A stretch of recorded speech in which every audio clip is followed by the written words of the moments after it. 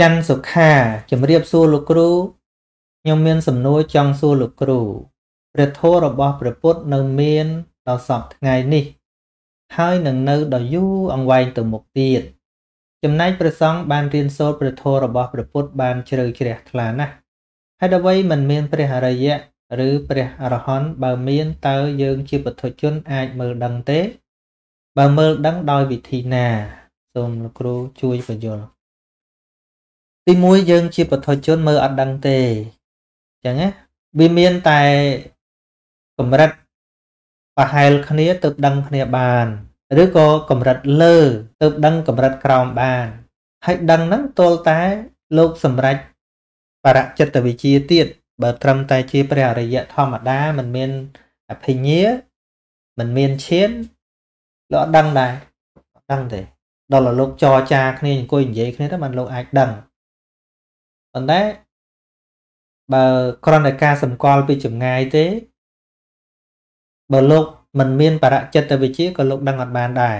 ទោះបីតែលោកជាព្រះអរហន្តក៏ដោយក៏លោកមិនអាចដឹងដោយមិនសាកសួរគ្នាដែរវាលែងតែលោកមានអភិញ្ញាលោកមានញាណពិសេសណាលោកចូលឈានជាបាតទៅពិចារណាចិត្តអ្នកដតីកម្រិតចិត្តអ្នកដតីបាន តែបើលោកសម្រេចដល់ព្រះរហន្តក៏ដោយអនាគាក៏ដោយលោកអត់មានឈានជាបាតទេលោកគ្រាន់តែសម្រេចអស់កិលេសក៏លោកមិនអាចដឹងបានដែរកុំថាឡើយដល់តែយើងពុទ្ធជនអង្គុយស្មានគេនោះសំបីតែព្រះអរិយៈគ្នាលោកនោះបើលោកមិនប្រាប់គ្នាទេ លោកនៅតែអត់ដឹងចឹងវាលែងតែបុគ្គលអ្នកសម្រាប់ឈានជាបាតមានអភិញ្ញាមានបរចិត្តវិជាមានអភិញ្ញា5យ៉ាងហោចបានលោកពិចារណាទៅដឹងអញ្ចឹងណា ហើយតាមសេចក្តីនៃព្រះអត្តកថាលោកប្រាប់ថានៅមាន មាន ត្រឹមសោតាសកតិអីនៅមានដល់រហងៃហ្នឹងប៉ុន្តែអ្នកដែលដែលមានអានឹងចំណាំចោះថាគ្មានចង់ឲ្យវាណាដឹងទេពីព្រោះអីពីព្រោះអ្នកដែលសម្រេចគុណធម៌ហ្នឹងគឺមនុស្សដែលលះមនុស្សអត់ជាពាក់មួយមនុស្សទេលៀបសការៈហ្នឹងឃើញដូចកំអួតចឹងការគោរពការអោនលំទោនការថ្វាយបង្គំលើកតម្កើងដូច ដូចលិមួកចឹងឃើញចឹងមនុស្សចឹងហើយប្រយោជន៍អីទៅនិយាយប្រាប់គេនោះនិយាយមកកាន់តែញីអញៃលោកលោកខ្ពើមលោកខ្ពើមលោកឃើញលៀបសការៈការគោរពការអោនលំទោនការអោយតម្លៃស្អីស្អីនោះពីវងមនុស្សហ្នឹងលោកឃើញដូចអាដេញកំហាក់គេស្ដោះចោលអញ្ចឹងណាលោកឃើញអញ្ចឹងអរិយបុគ្គលថ្នាក់សោតាឡើងទៅលោកឃើញអញ្ចឹងមក អញ្ចឹងប្រយោជន៍អីទៅប្រាប់មនុស្សថាអាត្មាដល់ណាហើយអាត្មាដល់ណាហើយឬក៏និយាយរបៀបគៀគោឲ្យគេដឹងថាអាត្មាឬក៏អញអាត្មាអញនឹងខ្លួនអញនឹងដល់នេះដល់នោះហើយទៅអញ្ចឹងហើយអានឹងចរិតរបស់កិលេសទេណាអានិយាយប្រាប់គេពីគុណធម៌របស់ខ្លួនឯងឬក៏និយាយដៀងដៀងទៅឲ្យគេដឹងថាអញនឹងមានគុណធម៌ហ្នឹងអានឹងចរិតរបស់កិលេសទេមិនមែនចរិតរបស់អ្នកត្រាស់ដឹងទេមិនមែនចរិតរបស់ព្រះរិយបុគ្គលទេ លោកមិនបាច់ឲ្យពីណាទៅសរសើរលោកក៏បានដែរអញ្ចឹងអានឹងលោកក៏ធម៌ណាអញ្ចឹងមាននៅមានប៉ុន្តែអ្នកដែលមានអាហ្នឹងគឺស្ងៀមហ្មងគឺកាន់តែសាមញ្ញដែលយើងមើលមិនដឹងទេអត់ដឹងទេដោយដោយកាលដែលអឺព្រះអឺប្រធេរៈមួយអង្គខ្ញុំមកភ្លេចពនាមលោកទៅ ទៅលោកទឿតូចប៉ុន្តែលោកជាព្រះអរហន្តណាអឺចូលទៅកល់ព្រះសម្មាសម្ពុទ្ធហើយដើរចេញមកវិញហើយភិក្ខុដែលនៅក្នុងព្រៃទៅបដិបត្តិនៅព្រៃទៅនៅជាពុទ្ធជនទេដើរចូលទៅច្រើនអង្គចឹងទៅបានព្រះអង្គសួរមនាលភិក្ខុតើមានឃើញប្រធេរៈមួយអង្គចេញទៅមិញទេ បានភិក្ខុឆ្លើយថាខ្ញុំព្រះអង្គអត់បានឃើញប្រធេរៈប្រធេរៈមានន័យថាជាអ្នកបួសចាស់ចឹងណាបួសយូរអីហៅប្រធេរៈអឺប៉ុន្តែតាមពិតប្រធេរៈអង្គហ្នឹងលោកគាត់ថាទឿអញ្ចឹងណាតែគុណធម៌លោកខ្ពស់មានលោកតូចមើលទៅដូចគុណក្មេងដល់ពេលលោកថាអត់មានឃើញវធេរៈឃើញគុណនេនមួយចេញទៅ បានព្រះអង្គត្រាស់ថាតថាគតមិនហៅថាជាប្រធេរៈព្រោះត្រឹមតែមានសក់ស្កូវលើក្បាលទេពាក្យថាអ្នកបុះចាស់ហៅថាអ្នកចាស់នៅក្នុងសាសនានេះមិនមែនហៅទៅលើអ្នកមានសក់ស្កូវលើក្បាលទេអាយុក្មេងក៏ដោយឲ្យតែមានគុណធម៌ខ្ពស់ឈ្មោះតែចាស់នៅក្នុងសាសនានេះណាមើលមើលអត់ដឹងអញ្ចឹងព្រោះអ្នក អ្នកដែលដល់គុណធម៌សោតាឡើងទៅវាវាលះនៅអសកាយទិដ្ឋិបាត់ហើយវាលែងប្រកាន់ថាមានខ្លួននៅក្នុងโลกនេះហើយអញ្ចឹងទៅអួតខ្លួនប្រាប់គេបានប្រយោជន៍ស្អីព្រោះសម្មាទិដ្ឋិនឹងបានកំចាត់នៅមិច្ឆាទិដ្ឋិសូម្បីតែយល់ថាមានខ្លួននៅក្នុងโลกនេះក៏វាគ្មានផងអញ្ចឹងចង់ឲ្យពីណាដឹងដើម្បីអីឃើញទេអញ្ចឹងកាន់តែសម្រេចគុណធម៌ហ្នឹងកាន់តែលែងមានអ្នកដឹងតែមក អេទី1ទៅនិយាយគុណធម៌ប្រាប់គេលោកអាណិតគេលោកតែគេមិនជឿគេបាបច្រើនហ្នឹងលោកអត់និយាយទេគេចំអកលក់លើអីចេះទៅចំជាខ្លួនឯងជាព្រះរយៈហើយឲ្យគេមកចំអកលក់លើអញ្ចឹងគេបាបគេច្រើនមិនលោកអត់ប្រាប់នោះហើយទី2អ្នកមកហ្នឹងអាចមិនមែនមកដើម្បីបានប្រយោជន៍យល់ដឹងស្អីទេដឹងថាជាអរិយបុគ្គលអ្នកមានគុណធម៌អញ្ចឹងចុះមករូបឈូឆចង់បានទឹកមុនទឹកជ័យឥឡូវ អញ្ចឹងកាន់តែវឹកវរទៅលោកស្ងៀមនោះណាយើងមិនដឹងទេព្រោះយើងយើងមិនដឹងទេជាងការមនុស្សនៅចិត្តចិត្តយើងឯសាមញ្ញយើងមិនដឹងទេព្រោះអ្នកសម្រេចគុណធម៌មែនតែនគឺគ្មានចិត្តចង់ឲ្យគេដឹងវាអត់ចង់អួតអីទាំងអស់អត់ចង់ឲ្យគេបូជាអត់ចង់ឲ្យគេសរសើរស្អីទាំងអស់ហ្មងណាវាចឹងដោយរឿងមួយអង្គទៀតជាសាមណេរដូចជាសមណៈសាមណេរហ្នឹងខ្ញុំវា ខានអានប្រវត្តិរឿងរ៉ាវលោកទៅខ្ញុំមិនសូវចាំឈ្មោះហើយលោកនៅសាមណេរតែលោកជាព្រះរហន្តវិខធម្មតាមើលមានដឹងណា ចាប់ថ្ពាល់លេងទៅបិចថ្ពាល់លេងទៅចាប់ទាញចុះទាញឡើងទៅហើយលោកមានខឹងអីលោកលោកព្រះរហន្តនោះហើយបានព្រះសម្មាសម្ពុទ្ធថាអូពួកភិក្ខុនេះកំពុងតែបលែងលេងចំពួយនឹងអសេរពឹសមានន័យថាតាមមនេទូចមែនតែលោកជាព្រះរហន្តណា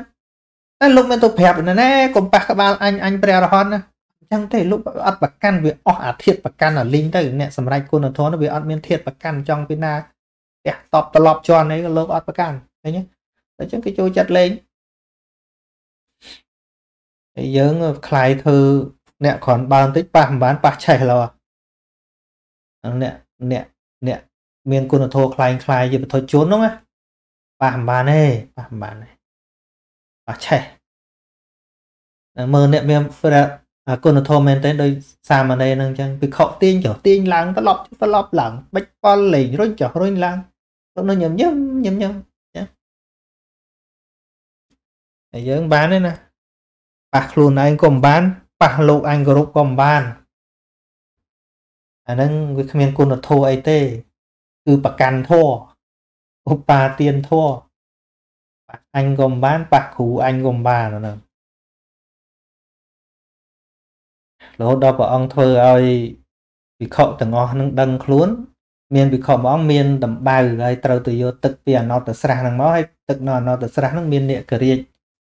ហួងហែងអញ្ចឹងទៅឲ្យភិក្ខុផ្សេងផ្សេងទៅយកទឹកនោះមានណាហ៊ានទៅឬតែកន្លែងហ្នឹងមានអ្នកករាជកាចសាមណេរហ្នឹងឲ្យសាមណេរហ្នឹងទៅសាមណេរហ្នឹងទៅ ឈ្នះអ្នកហ្នឹងយកទឹកមកអ្នកហ្នឹងតាមមកថ្វាយអង្គមបានភិក្ខុទាំងអស់ហ្នឹងដឹងថាអូតាមពុតព្រះអរហន្តសអត់ដឹងអាលីងចង់និយាយថាម៉េចបើព្រះអង្គមិនឲ្យដឹងលោកអត់ប្រាប់ទេលោកប្រាប់ទេ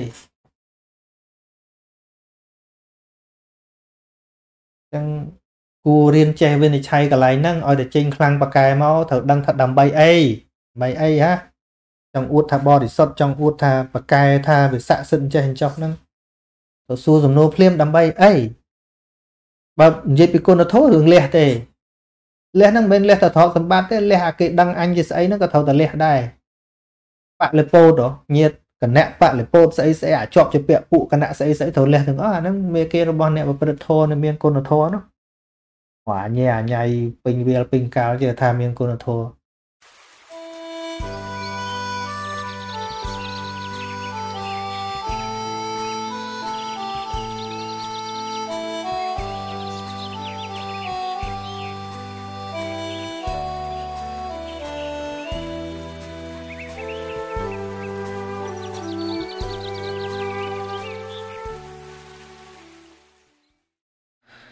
មុតសីហាជំរាបសួរលោកគ្រូពាក្យថាធัวតើមានន័យថាយ៉ាងម៉េចលោកគ្រូមិត្តភ័ក្តិ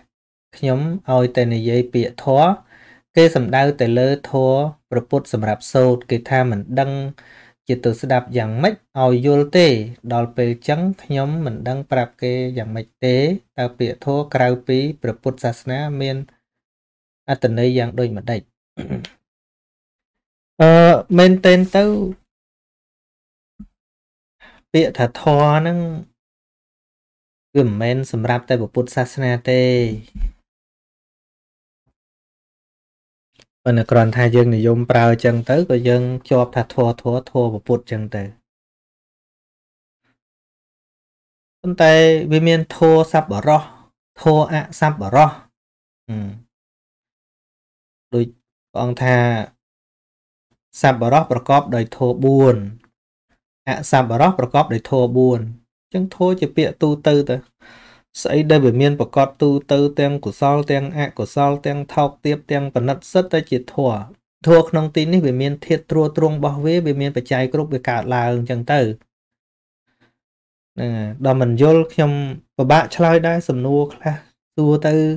សួរចំអកចំអន់ខ្ញុំលេងអីចឹងណាឲ្យចុះជ្រៀងហ្នឹងធัวដែរ អានោះខ្ញុំដឹងថាមិនយល់បាត់ហើយចុះវាមានអីដែលមិនមែនធัวគាត់ខណ្ឌថាវាជាកុសលធัวឬអកុសលធัวតែប៉ុណ្ណឹងតានិយាយអស់ទៅខ្ញុំនិយាយអាក្រក់ស្ដាប់បន្តិចថាលាមុខហ្នឹងក៏ធัวដែរនឹងធัวដែរតាជារូបធัวនៅក្នុងពាក្យធម៌ហៅថាករិស័កណាករិស័កហ្ ្វិតតង្សាការកម្មដ្ឋាន្វឹងហ្វិតតង្សាការកម្មដ្ឋាន ដូចជាអាការៈ32ហើយមានពួកអធាតដី20អីហ្នឹងរាប់ទាំងអស់ហ្នឹងហៅរូបធម៌អាទឹកនោមហ្នឹងធម៌ដែរអាហ្នឹងហៅថាបាសាវៈជារូបធម៌ឃើញអត់ស្អីមិនមែនធម៌ថាស្អីក៏ដោយឲ្យតែមានប្រកបក្នុងលោកនេះហៅថាធម៌ទាំងអស់ជាធម្មជាតិដែលយើងត្រូវសិក្សាដែលត្រូវដឹង ហ្នឹងចឹងប៉ុន្តែវាអាស្រ័យទៅលើបដិបត្តិដែលយើងនិយាយឧទាហរណ៍ថាបើយើងនិយាយថាធោតែងរសាបុគ្គលអ្នកមានធោធោតែងរសាបុគ្គលអ្នកប្រព្រឹត្តធោអាហ្នឹងมันអាចយកអាចយកនោមមកនិយាយទេនិយាយតែពួកកុសលធម៌ព្រមចរិយធម៌អញ្ចឹងណានិយាយតែពីរឿងអឺ ល្អល្អដែលត្រួតត្រងទេបុគ្គលខ្លះឧទាហរណ៍បុគ្គលខ្លះមានឈ្មោះថាធម្មគរុ not មិនមែនជាលាភគរុទេ ដូចជាអឺព្រះអង្គសរសើរព្រះចក្របាលថេអញ្ចឹងណាថាសច្ចកបាលថេនឹងគឺជាធម្មគរុមានន័យថាជាធ្ងន់ជាអ្នកធ្ងន់ក្នុងធម៌ មិនមែនជាអ្នកធ្ងន់ក្នុងលៀបទេអញ្ចឹងធ្ងន់ក្នុងធម៌កន្លែងនេះមិនមែនធម៌ជាអកុសលអញ្ចឹងអញ្ចឹងពាក្យមួយម៉ាត់ហ្នឹងណាតែកាលណាគេនិយាយក្នុងប្រយោគណាមួយគេចង់សរសើរបុគ្គលណាមួយគេអត់រាប់អកុសលធម៌ចូលទេគេអត់រាប់អាធម៌អាក្រក់ចូលទេហើយអត់រាប់រូបធម៌អីចូលទៀតដែលសរសើរថាអឺចក្របាលថេលោកជាបុគ្គលធ្ងន់ក្នុងធម៌ក្នុងអីគេក្នុងសិលសមាធិបញ្ញាជានាមធម៌ទេ គឺដឹងមកនិយាយទៅភាសានិយាយទៅគឺដឹងមកហើយតែយើងចាំតែចាប់ចំណុចម្ដងធัวប្រែថាអញ្ចឹងម្ដងធัวប្រែថាអញ្ចឹងអាហ្នឹងហើយវាមិនខុសពីភាសាទេធัวមួយម៉ាត់ហ្នឹងក៏ជាភាសាដែរ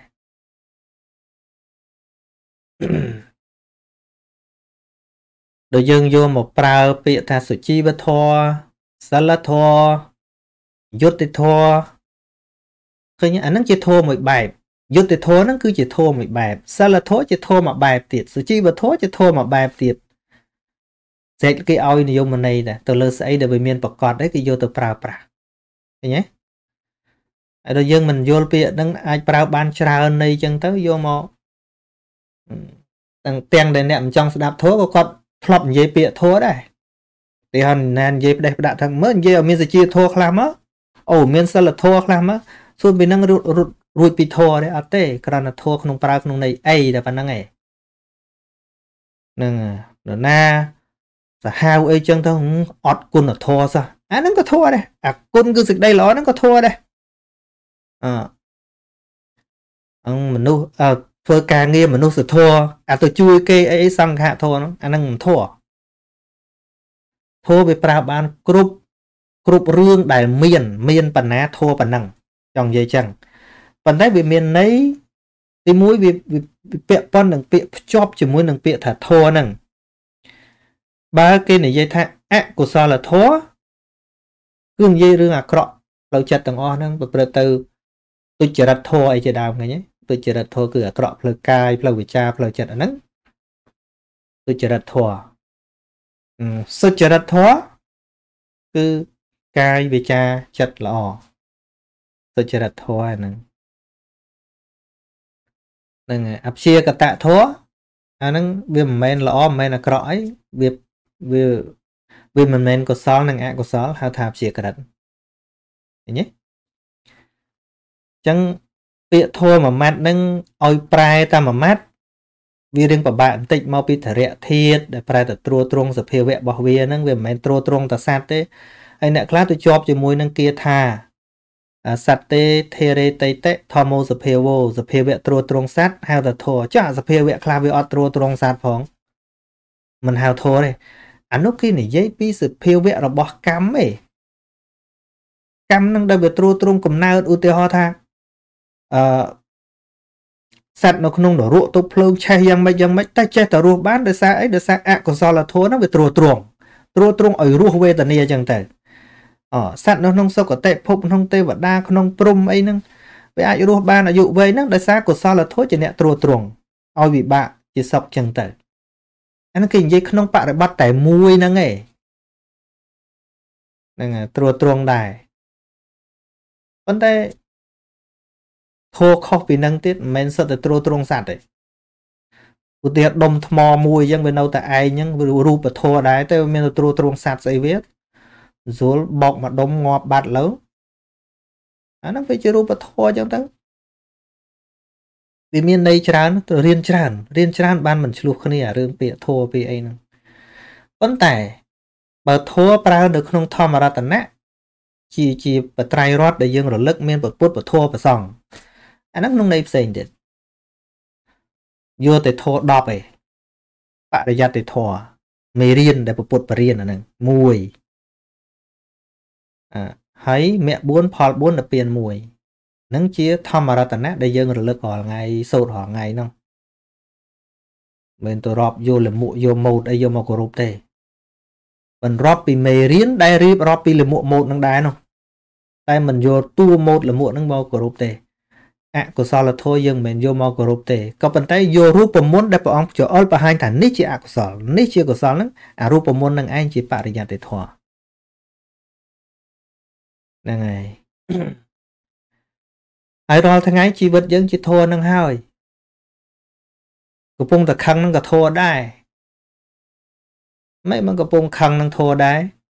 តួខឹងនឹងស្អីគេតោសមូលចិត្តមែនទេហើយតោសមូលចិត្តនឹងជាធัวទេថាធัวធัวអីអកុសលធัวជាហីណធัวអស្ដាប់ស្ដាប់ទៅក៏សบายចិត្តជ្រះថ្លាចឹងទៅកើតកុសលមក ចិត្តដែលពេញចិត្តនឹងពធហ្នឹងស្អីគេជាមហាកុសលធម៌ទេធម៌ធម៌អីមហាកុសល គឺជាកុសលធម៌កំពុងតលឺនឹងធម៌ទេអាចិត្តលឺហ្នឹងស្ដាប់លឺនឹងធម៌ទេអាហ្នឹងឬក៏យើងឬក៏វត្ថុផ្សេងក្រៅពីធម៌អាចិត្តលឺនឹងឯង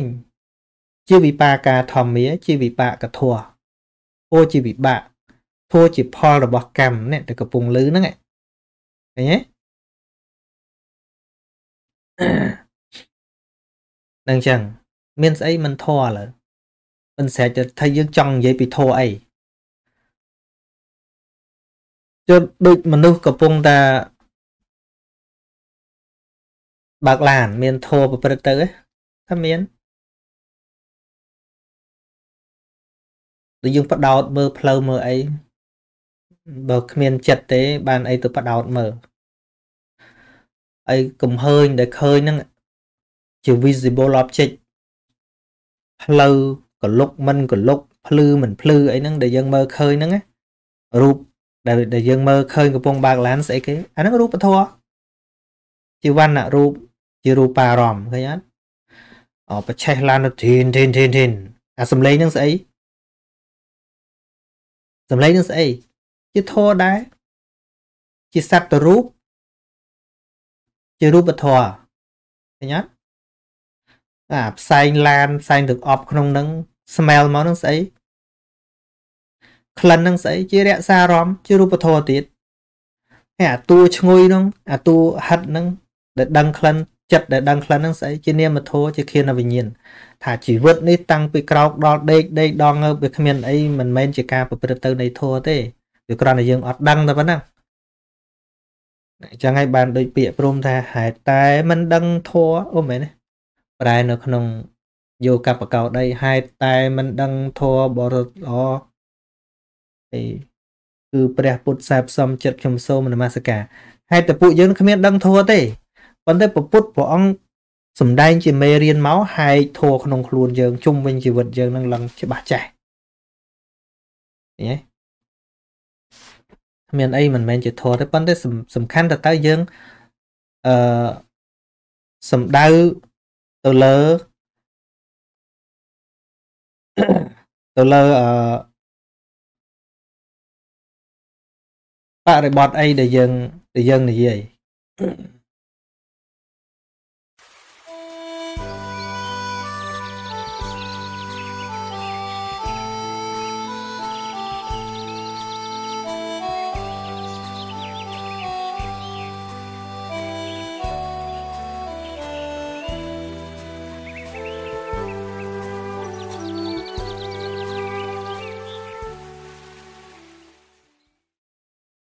ឈួនសុផល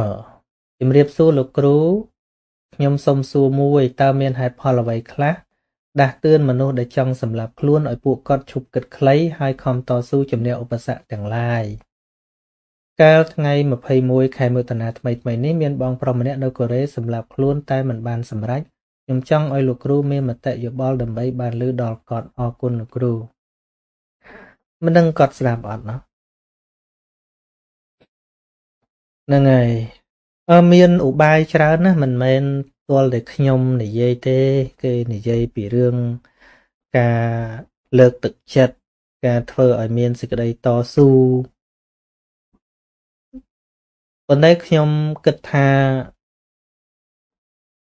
ឧបាយទាំងអស់នោះដោះស្រាយបានមួយគ្រាមួយគ្រាมันជាថ្នាំព្យាបាលពិតទម្លុះទម្លាយបញ្ហាពិតដូចមេរៀនពធទេ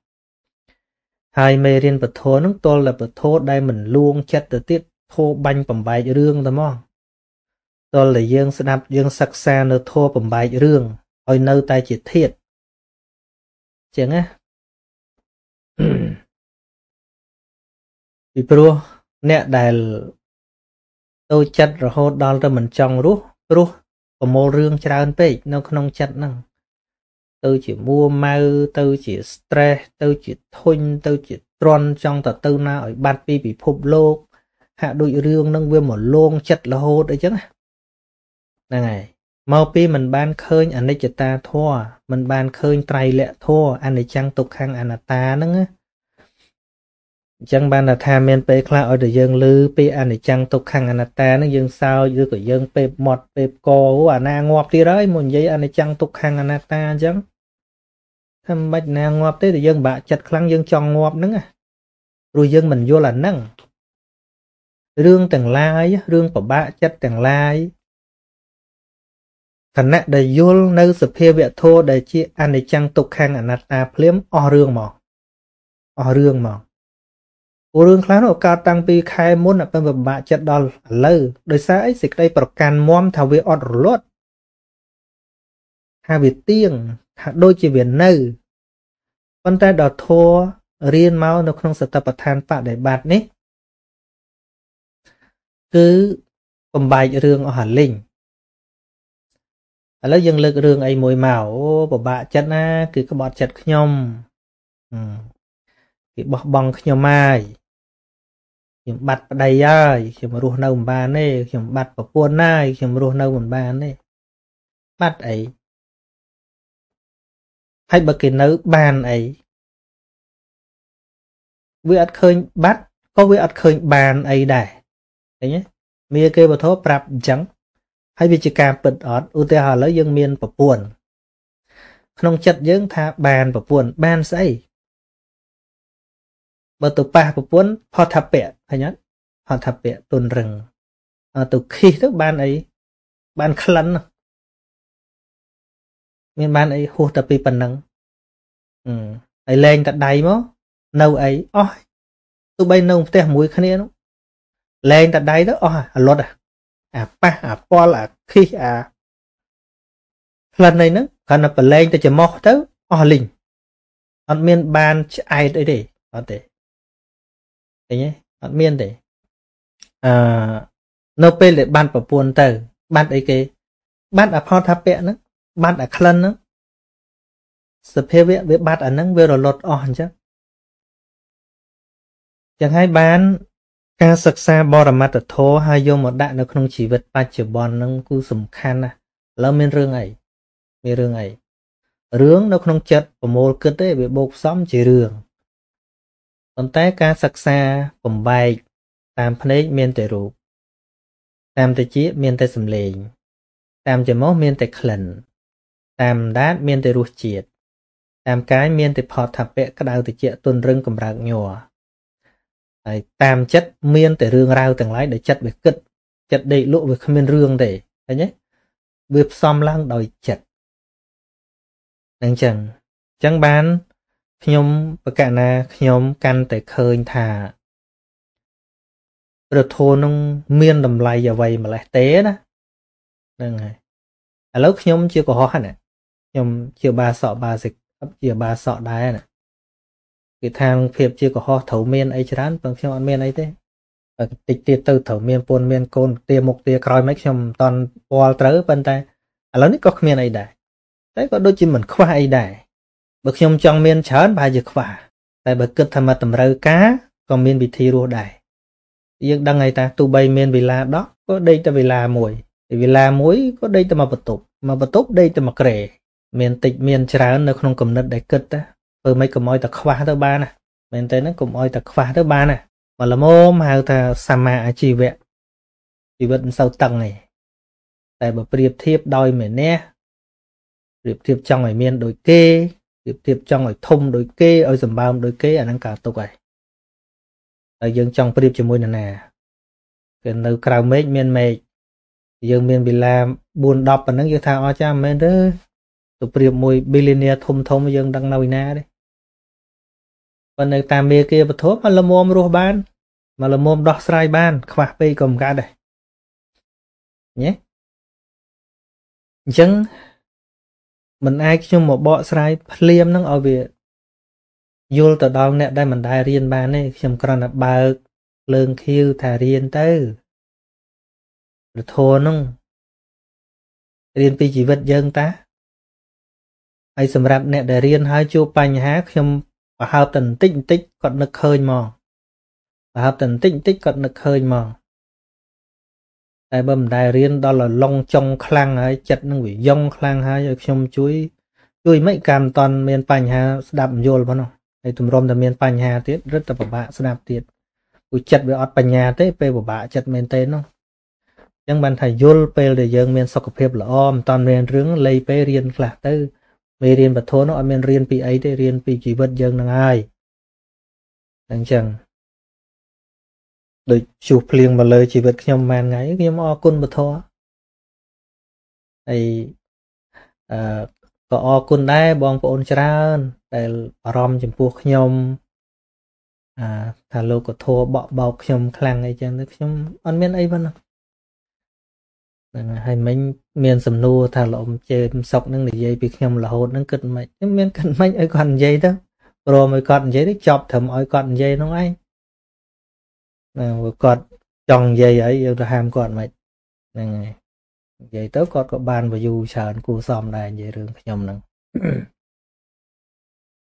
ណាពាក្យខ្ញុំប៉ុណ្ណឹងក៏គាត់អាចដាក់ប្រធានបទមួយទៀតបានដែរ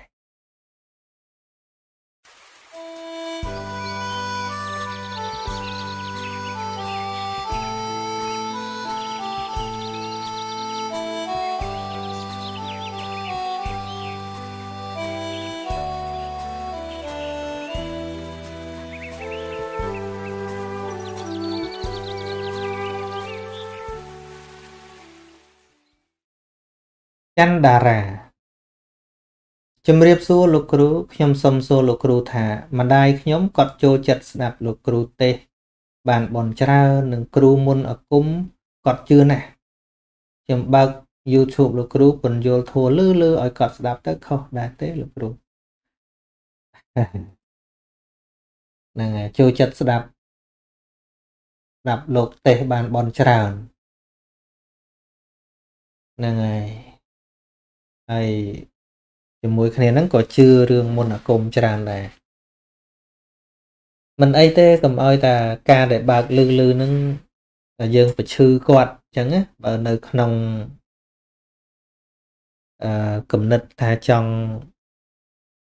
ឲ្យគាត់បានយល់វាមិនអីទេប៉ុន្តែយើងមើលផងថាតើគាត់ប្រតិកម្មយ៉ាងណាបើគាត់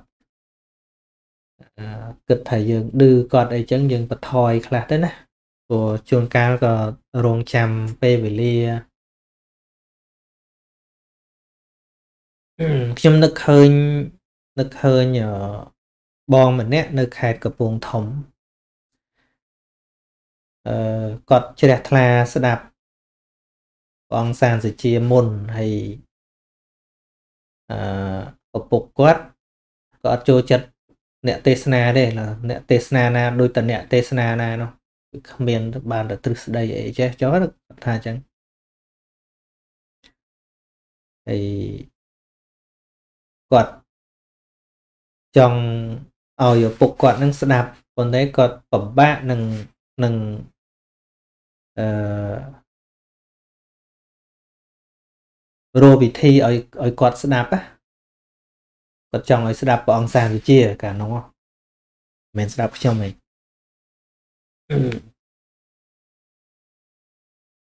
ចឹងចិត្តផ្លូវចិត្តផ្លូវចេញចូលវាមានទូចឹងទៅគាត់ថតពីវិទ្យុកាលហ្នឹងញាតិញោមនៅស្ទងគាត់ស្រាក់លុយគ្នាទៅក៏ផ្សាយវិទ្យុនៅកំពង់ធំនឹងដែរ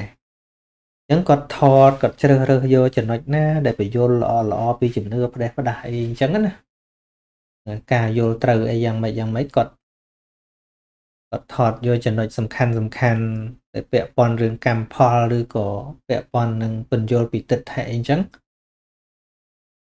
ហើយគាត់ដាក់ចំណងជើងដាក់ចំណងជើងលើអាខ្នងកសែតហ្នឹងហើយគាត់ដាក់នៅអាទូដែលដើរចេញចូលគាត់ដាក់ពី3កសែតនោះហ្នឹងតែគាត់អត់ដែរចាក់ឲ្យលឺលឺអីទេគាត់ស្ដាប់ក៏ស្ដាប់ខ្សឹបខ្សឹបដឹងថាឪពុកគាត់អត់ចូលចិត្តលោកទេហើយ តែគាត់ដាក់ចំណងជើងទៅនោះទៅគំនិតរបស់គាត់គាត់ចង់ឲ្យឪពុកគាត់ឃើញដាក់ចំណងជើងខ្លះឲ្យឆ្ងល់អញ្ចឹងណាដាក់ចំណងជើងឲ្យរបៀបឆ្ងល់ហើយមាននេះជាឪពុកហ្នឹងណែនាំឲ្យស្ដាប់ស្ដាប់ទេប៉ុន្តែដល់ពេលគាត់អត់នៅផ្ទះគាត់លបយកអាកាសែតហ្នឹងស្ដាប់កាសែតដែលព្រះអង្គសានសុជាទេសហ្នឹងណាដល់ស្ដាប់អស់ទៅគាត់គាត់យល់ទៅយូរយូរគាត់សួរអូន មានកសែតអញ្ចឹងទៀតអត់អូមានច្រើនដែរពុកចុះបើមានច្រើនមិនឲ្យអូស្ដាប់ផងតាំងពីយូរឃើញទេអាជួនកាលវាត្រូវការឧបាយត្រូវការឧបាយហ្នឹងហើយត្រូវអឺវិធីសាស្ត្រมันអាចត្រង់ត្រង់បានទេពីព្រោះបានជាផ្លូវសម្មាទិដ្ឋិហ្នឹងมันអាចដាក់ត្រង់ត្រង់បានពេកហ្នឹងដោយសារអីដោយសារ អាផ្លូវផ្លូវជំនឿគ្របចិត្តគំនិតរបស់យើងវាច្រើនពេកវាច្រើនពេកណាដែលយើងទៅនិយាយត្រង់ម្នាក់ឯងហ្នឹងគេថាយើងឈួតណាចាំមកអ្នកខ្លះគេថាស្ដាប់តាំងវិសឹកមកវិញឈួតបើនិយាយថាអញ្ចឹងឈួតខ្ញុំឈួតតាំងនៅលោកម៉េះពួកនិយាយតែអញ្ចឹងហ្នឹងនៅលោកខ្ញុំនិយាយអញ្ចឹងដែរចាំមកខ្ញុំ តែកសែតចាស់ចាស់ឡើងវិញខ្លះទៅឲ្យដឹងថាកាលហ្នឹងព្រះអង្គតាមសាជានិយាយស្អីអ្នកខ្លះដែលដឹងខ្ញុំនិយាយអីហ្នឹងបើគិតថាការបញ្យលហេតុផលកម្មផលនឹងឈួតថាមិនមែនឈួតឥឡូវទេតែឈួតតាំងនៅលោកម៉េះហ្នឹងហើយហើយការនិយាយទាំងអស់ហ្នឹងបើថាអ្នកនិយាយនឹងឈួតវាទោះឌីលព្រះឈួតដែរខ្ញុំមានចេះឯណារឿងកម្មផលព្រះណាអ្នកបញ្យលព្រះសម្មាសម្ពុទ្ធដែលយើងថ្វាយអង្គមរាល់ថ្ងៃនោះ ខ្ញុំមិនណាហ៊ានចេះនិយាយចឹងលោកហើយលោកបើខ្ញុំអត់អត់មានមេរៀនពពុទ្ធឲ្យខ្ញុំចេះនិយាយចឹងខ្ញុំមហាអស្ចារ្យប៉ុណ្ណាទៅខ្ញុំនោះដូចជារឿងសម្មាទិដ្ឋិមិច្ឆាទិដ្ឋិអីអីចេះចេះនោះបើអត់មានពុទ្ធដីកាអត់មាន ការសិក្សាពីព្រះសម្មាសម្ពុទ្ធខ្ញុំឯណាទៅចេះនិយាយហើយបើសិនជា និយាយចឹងគេឲ្យឈ្មោះឈួតដោយមិនចាប់បាច់មានពពុទ្ធឲ្យខ្ញុំស្រាប់តែនឹកឃើញនិយាយចឹងហ្មងអូអានឹងខ្ញុំទទួល100ដងទៀតហ៎ឲ្យវាឈួតចឹងទៅឈួតចេះនិយាយកម្មផលឈួតចេះនិយាយដឹងថានេះទិដ្ឋិមិច្ឆាទិដ្ឋិសម្មាទិដ្ឋិឈួតចេះនិយាយចឹងណាខ្ញុំចង់ឲ្យគេថាមួយលានអ្នកទៀតហ្នឹងប៉ុន្តែកុំភ្លេចថាអានឹងខ្ញុំគ្មានចេះពីណាទេចេះតែពីព្រះសម្មាសម្ពុទ្ធទេ យើងចង់ថាម៉េចចង់ថាពពុទ្ធឈួតដែរនេះខ្ញុំគ្រាន់តែបញ្ជាក់ទេណាថាខ្ញុំមិនណាសុកសុកនឹងមកចេះនិយាយកម្មយ៉ាងនេះឧបធម្មកកម្មយ៉ាងនេះឧបឃាតកកម្មយ៉ាងនេះឧបបៃលកកម្មយ៉ាងនេះវាឲ្យផលតាមលំដាប់យ៉ាងនេះយ៉ាងនេះ កម្មនេះវាឲ្យផលជាទិដ្ឋធម្មវេទនីយកម្មយ៉ាងនេះយ៉ាងនេះកម្មនេះវាជាចនកកម្មឲ្យបដិសន្ធិយ៉ាងនេះយ៉ាងនេះហើយតទេតទេឈួតចេះនិយាយចឹងឈួតដូចឈួតកលិបហ្មងហ្នឹងអញ្ចឹងឈួតនឹងខ្ញុំសុំយកឈ្មោះនឹងចោះហ្នឹងហើយប៉ុន្តែកុំភ្លេចថាអ្នកនិយាយពីអស់ហ្នឹងប្រពុតទេខ្ញុំក៏ repeat តាខ្ញុំក៏ថាតាមហ្នឹង កអ្នកនាំសារព្រះអង្គហ្នឹងអញ្ចឹងឧទាហរណ៍ថាឥឡូវអ្នកមកអានសារប្រាប់យើងឈួតហើយចុះអ្នកសរសេរសារហ្នឹងល្មិចអ្នកផ្ញើសារនោះល្មិចជាចុះណាយើងតេះដៀមនុស្សនិយាយកម្មផលមនុស្សនិយាយពីអរិយមគ្គអង្គ8និយាយពីបដិច្ចសមុបបាទថាឈួតកុំភ្លេចថាអ្នកដែលនិយាយពីបដិច្ចសមុបបាទនឹងមិនមែនអ្នកនិយាយហងៃនេះទេគឺព្រះសម្មាសម្ពុទ្ធកុំភ្លេចមើងងាយធัวគឺមើងងាយព្រះអង្គហើយ គោរពធัวគឺគោរពព្រះអង្គ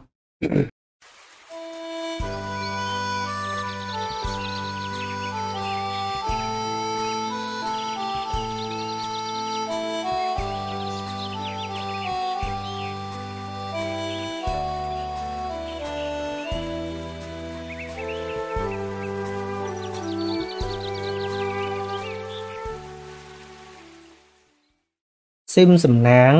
ជំរាបសួរលោកគ្រូ ខ្ញុំសូមសួរលោកគ្រូមួយសំណួរ ខ្ញុំបានទៅវត្តសំសិល5តែក្រោយមកខ្ញុំមានជំងឺប្រចាំកាយមិនបានទៅសមាទានសិលនៅឯវត្តតែខ្ញុំប្រតិបត្តិសិលនៅផ្ទះរៀងរាល់ថ្ងៃតើយ៉ាងណាដែរលោកគ្រូល្អតាល្អហើយហ្នឹងហើយល្អឆ្លើយប៉ុណ្ណឹងថាល្អឈឺហើយនៅរសាសិលបាននៅផ្ទះទៀតល្អ ចម្លើយតែមួយម៉ាត់គឺល្អហើយប៉ុន្តែស្ដាប់ខ្ញុំឲ្យតន់ថាតិចចឹងទៅខ្ញុំញុះញង់គេកុំឲ្យទៅវត្តមែនទេបើយើងទៅបានទៅទៅតែនេះសម្រាប់អ្នកឈឺអត់ទៅអត់បានភាសានៅផ្ទះបានទេអត់បាន ទៅបខំទៅទៅអីបើឈឺនឹងព្រោះសិលមិននៅនឹងវត្តទេសិលគឺចេតនាវាចាតាមសិក្ខាបទទេតើ ចុះអញ្ចឹងគេទៅវត្តគ្រប់គ្នាខុសហើយឬគេទៅខុសក៏មានទៅត្រូវក៏មានអញ្ចឹងទៅខុសក៏មានទៅត្រូវក៏មានដែរទៅវត្តហ្នឹងព្រោះពាក្យទៅវត្តមួយម៉ាត់ហ្នឹងមិនមែនតែមនុស្សទេព្រៀបក៏ទៅបានគោក៏ទៅបានឆ្កែក៏ទៅបានឆ្មាក៏ទៅបានដែរបើយើងគិតថាទៅវត្តសិតតែត្រូវយកឆ្កែទៅអាចដាក់វត្តហ្នឹងត្រូវដែរវាមិនត្រូវទេចោលទៅវត្តបានទៅលួចអីពីវត្តអញ្ចឹងវាមិនត្រូវព្រោះ ព្រោះហេតុតែត្រឹមថាទៅវត្តទេអញ្ចឹងត្រូវសួរថាទៅនឹងទៅធ្វើអីបើទៅដើម្បីប្រកេនចាហានលោកទៅទៅទៅដើម្បីជួបជុំមិត្តភ័ក្តិឲ្យបានបកគលជាទីសបាយដែលយើងធ្វើបុណ្យជាមួយគ្នាជួបជុំគ្នាដឹងសុខទុក្ខគ្នា ទៅទៅទៅដើម្បីដឹងសុខទុក្ខប្រសង់លោកសិក្សារៀនសូត្រយ៉ាងម៉េចឧបត្ថម្ភលោកអញ្ចេះចុះគួរទៅទេទៅទៅ ទៅវត្តមាសកាបរតនៈត្រៃទៅសមាទានសិលហើយទៅក៏ស្ដាប់ប្រសងលោកទេសនាឬក៏យើងមានការសន្ទនារំលឹកគ្នាអំពីសិក្ខាបទសិលហ្នឹងគួរទៅទេគួរទៅគួរសតើគួរចុះបើទៅវត្តដើម្បីឆ្លោះគ្នាគួរទៅទេមិនបាច់ទៅទេហើយទៅវត្តគ្រាន់តែទៅសុំលេខ ចាក់កតុយលេខទេគួរទៅទេមិនបាច់ទៅទេចេះទេហ្នឹងហើយអញ្ចឹងត្រូវក៏បានមិនត្រូវក៏បានប៉ុន្តែសិលនេះឥឡូវគ្រប់គ្នាគេអាចទៅវត្តបានចុះខ្ញុំធ្វើការរវល់ថ្ងៃសិលវាមិនចំថ្ងៃអាទិត្យតែខ្ញុំរសាសិល5បានទេថាគ្មាននរណាហាមទេធ្វើទៅមិនអីទេសិលនឹងជាសិក្ខាបទទៅ ជាវិន័យផ្ទាល់ខ្លួនយើងតើ សិល5ឃើញទេទី1មិនសម្លាប់ទី2មិនលួចទី3មិនប្រព្រឹត្តខុសក្នុងកាមទី4មិនកុហកទី5មិនផឹកគ្រឿងស្រវឹងហៅថានិច្ចសិលនិច្ចសិលណាសិលដែលរសាជានិច្ចទាំងយប់ទាំងថ្ងៃគ្រប់ពេលវេលាមិនមែនតែពេលទៅវត្តណាពាក្យថាទៅសមាទានគេថាទៅរៀនយោទៅរៀនណាទៅរៀនមានអីខ្លះមាន5ហ្នឹងបើយើងមិនភ្លេចផងបាច់ថាទៀតក៏បានដែរ មានស្អីហ្នឹងហើយកាលដែលនាងកុករសាសិល5មានទៅវត្តឯណាប្រអិនមកប្រាប់តើឃើញទេយើងមានពេលខ្លះយើងស្ដាប់ជារឿងជារាវប្រវត្តិរបស់អ្នកសម័យដើមនោះមកដោះស្រាយបញ្ហាយើងនឹងបដ ாய் ហ្នឹងហើយគេថាសាសិលត្រូវទៅទៅវត្តហេខ្ញុំលើករឿងនាងកុកសុជាតារសាសិលចលងភ្នំដែលទៅវត្តអត់មានលោកអីមួយអង្គប្រអិនអ្នកយកសិលនឹងមកឲ្យ ប្រាប់ទី1មិនសម្លាប់ទី2មិនលួចទ្រព្យគេទី3មិនប្រព្រឹត្តខុសក្នុងកាមេក្នុងកាមទី4មិនកុហកទី5មិនផាបផ្សែបគ្រឿងសង្វឹងហើយកុកវាពិបាកតែមួយតាពិបាកតែអាសัตว์រស់ហ្នឹងឯណា4ទីមានពិបាកណាប៉ុន្តែពេលរសារសាទាំង5នោះអឺ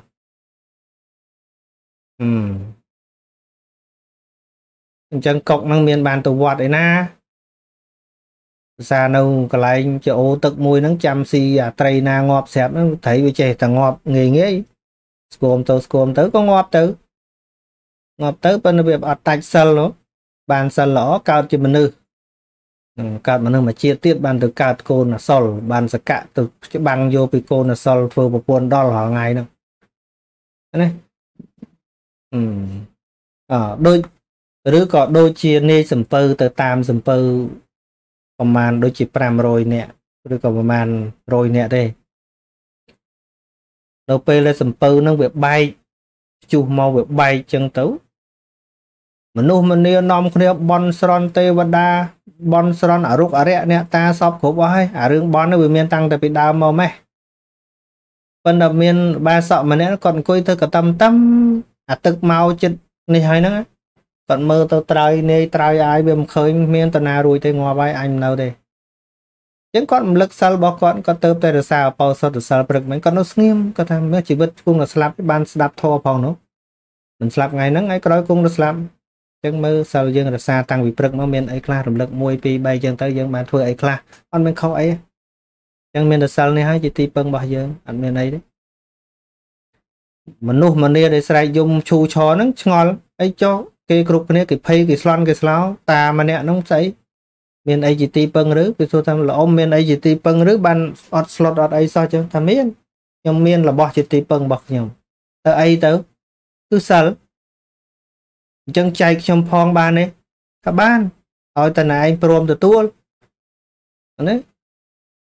គាត់ក៏ប្រាប់ទៅទី1ឲ្យយកបរតនត្រ័យជាទីរលឹកមានពុទ្ធទាំងសរណង្គច្ឆាមិធម្មងសរណង្គច្ឆាមិសង្ឃងសរណង្គច្ឆាមិ ទុតិយាមបេតតិយាមបេទៅហើយឲ្យសមាទានសិលហ្នឹងទៅប៉ុន្តែដោយសារគ្នាច្រើនចែកមកគ្រប់ម្ដង100ម្ដង100ឲ្យថាតាមគ្រប់ទាំងអស់ទៅក៏សំពៅលេខទៅទាំងអស់ហ្នឹងទៅបដិសន្ធិនៅតាបតឹងទាំងអស់ទេវលោកទាំងអស់ឥឡូវមានវត្តណាលើសំពៅហ្នឹងអញ្ចឹងសិលវានៅលើចេតនាឯណែស្ដាប់ឲ្យតន់បើយើងទៅបានទៅទៅ មានពេលឲ្យទៅទៅ ដឹងសុខទុក្ខប្រសងផង ទៅបឋមចង្ហាន់ផង យើងទៅជួបមិត្តពធយើងទៅជួបជុំគ្នាជាមិត្តរួមសាសនាជាមួយគ្នារួចហើយយើងស្ដាប់ធម៌រួចយើងសន្ទនាធម៌ដើម្បីចម្រើនការចេះដឹងអាហ្នឹងសិតតែរឿងល្អហ្នឹងទៅបានទៅ តែបើទៅមិនបានកុំទាស់យើងរក្សាតាមបែបដែលស្ថានភាពមិនអាចឲ្យយើងទៅបានអញ្ចឹងណា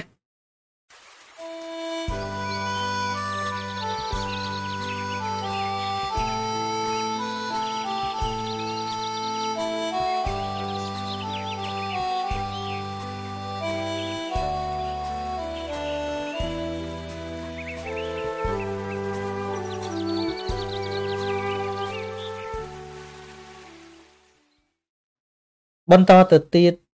ម៉ាន់ខុនឆៃជំរាបសួរលោកគ្រូពីចងាយបាទជំរាបសួរខ្ញុំបានឃើញเพจមានเพจជាច្រើនបានផុសរិះគន់លោកគ្រូ មានเพจមួយនោះលើកឡើងថាបើបួសជាលោកហើយសឹកមកវិញគឺមានតែជាជនបរាជិកទេ គឺជាជនបរាជ័យទៅបើបរាជ័យហើយគុំទេសនាប្រដៅគេមួយម៉ាត់លះកិលេសពីរម៉ាត់លះកិលេសជ្រិញណាស់ ចាស់គ្រូសានសុជា ហើយឃើញមានអ្នកខមមិនចូលទៅ ថាឲ្យលោកគ្រូច្រើនណាស់ខ្ញុំស្ដាប់លោកគ្រូលបាក់ជាង10ឆ្នាំមកហើយ តែមិនបានសិក្សាព្រះអភិធម្មទេ នៅពេលដែលឃើញគេថាអីប៉ះពាល់លោកគ្រូបន្តិច មានអារម្មណ៍ថាដូចប៉ះកង្កិចចិត្តខ្ញុំដែរបើខ្ញុំបានសិក្សាអភិធម្មដែរនោះប្រកាសជាមិន មានចិត្តខឹងតបទៅវិញទេ ខ្ញុំ ខ្ញុំបានព្យាយាមមើលវីដេអូលោកគ្រូកាត់បង្រៀនដែរតែមិនយល់សោះលោកគ្រូធ្លាប់ស្ដាប់លោកគ្រូតែដែរតែអភិធម្មបើរៀនម្នាក់មិនមានការព្យាយាមទេ តែបបួលគ្នារៀនហើយនៅតែមិនយល់មិនដឹងយ៉ាងម៉េចគួរមានក្រុមមានក្រុមហើយមានអ្នកដែលចេះក្នុងហ្នឹងបបួលគ្នាមែនប៉ុន្តែបើគ្នាអឺមិនសូវ ចេះអានឹងក៏អត់មានផ្លូវអីដែលឲ្យរីចម្រើនដែរអញ្ចឹងបើយើងបង្កើតគ្រប់ជំនុំគ្នាក៏ដោយក៏គួរតែមានអ្នកណារៀងឆ្លាតបន្តិចបានបានអ្នកឆ្លាតហ្នឹងយោងយើងឲ្យអាចបញ្យល់យើងបានអញ្ចឹងណាហ្នឹងហើយរឿងរឿងទេសនាមិនទេសនាខ្ញុំធ្លាប់និយាយម្ដងហើយប៉ុន្តែខ្ញុំឲ្យគិតអញ្ចេះគិតថាអឺតាមមេគារបស់ព្រះអង្គណា គិតថាបើវាមានប្រយោជន៍យកទៅអញ្ចឹងណាហើយបើអត់ប្រយោជន៍កុំខ្ចីស្ដាប់អញ្ចឹងណាហ្នឹងហើយពីព្រោះកន្លែងហ្នឹងវាអត់មាន ជាការប្រខិតប្រខំអីទេមិនមែនតែស្ដាប់ខ្ញុំទេ ស្ដាប់នរណាក៏ដោយគ្រាន់តែអើបើវាអត់ប្រយោជន៍អីទេក៏បាត់ចោលបើថាគិតថាមានប្រយោជន៍ដែរស្ដាប់លេងទៅ មានអីអត់មានដាក់ទុនអីទេឃើញទេ ដូចខ្ញុំនិយាយចឹងខ្ញុំអត់មានឲ្យបងប្អូនដាក់ទុនអីទេមិនចង់ស្ដាប់គឺបានដូរប៉ុសបានគ្រប់ពេលវេលាហ្នឹងហើយដូច្នេះអឺវាជាធម្មតាមិនឲ្យពួកគាត់និយាយក៏មិនបានដែរព្រោះគាត់អត់បានជ្រះថ្លាមួយខ្ញុំផងអញ្ចឹងណាអឺឬក៏ថាធ្លាប់ជ្រះថ្លាក៏ដោយគាត់អាចឈប់ស្ដាប់ក៏បានដែរ ដោយខ្ញុំធ្លាប់បានជម្រាបតាំងពីខ្ញុំមិនតន់សឹកថ្ងៃដែលខ្ញុំឆាប់សឹកអញ្ចឹងខ្ញុំអត់បាននិយាយទៅអ្នកដែលមិនចូលចិត្តខ្ញុំទេខ្ញុំនិយាយទៅកាន់អ្នកស្ដាប់ខ្ញុំស្រាប់ក៏ដោយថាតទៅមុខជាបណ្ដាំរបស់ខ្ញុំថាអាចបោះបង់ខ្ញុំបាន តែកុំបោះបង់ធัวអញ្ចឹងណាបើធัวខ្ញុំនិយាយទៅពិបាកស្ដាប់ទៅស្ដាប់អង្គផ្សេងទៅស្ដាប់លោកគ្រូផ្សេងអញ្ចឹងខ្ញុំខ្ញុំបានត្រៀមអញ្ចឹងហើយហើយអញ្ចឹងណា មិនជាបញ្ហាអីទេ តែជាគោលការណ៍របស់ខ្ញុំទេបើទោះជាចង់ថាច្រើនជាងនឹង100ដងទៀតការងាររបស់ខ្ញុំក៏នៅដដែលដែរប៉ុណ្ណឹងដល់ម៉ោងខ្ញុំនិយាយខ្ញុំឆ្លើយហើយខ្ញុំឆ្លើយតែនរណាសួរខ្ញុំទេខ្ញុំអត់មានឆ្លើយទៅនរណាអត់សួរខ្ញុំទេហ្នឹងហើយថ្ងៃសុកហ្នឹងគឺថាខ្ញុំឆ្លើយសម្រាប់តែអ្នកមកសួរខ្ញុំទេបើបងប្អូននៅតែចង់ដឹងនៅតែចង់សួរខ្ញុំនៅតែឆ្លើយ ចឹងណាព្រោះអំពើមួយហ្នឹងខ្ញុំឃើញថាមិនមែនជាបទអក្រិតទេហើយខ្ញុំក៏ដឹងខ្លួនឯងដែរថាវាចេញពីចិត្តកុសលដែលចង់ឲ្យបងប្អូនយល់តែប៉ុណ្ណោះហ្នឹងហើយអញ្ចឹងខ្ញុំឆ្លើយសម្រាប់តែអ្នកចង់សួរហើយតែមានសំណួរខ្ញុំឆ្លើយតែបើអត់សំណួរខ្ញុំឈប់ឆ្លើយតែប៉ុណ្្នឹងឯងហ្នឹងហើយ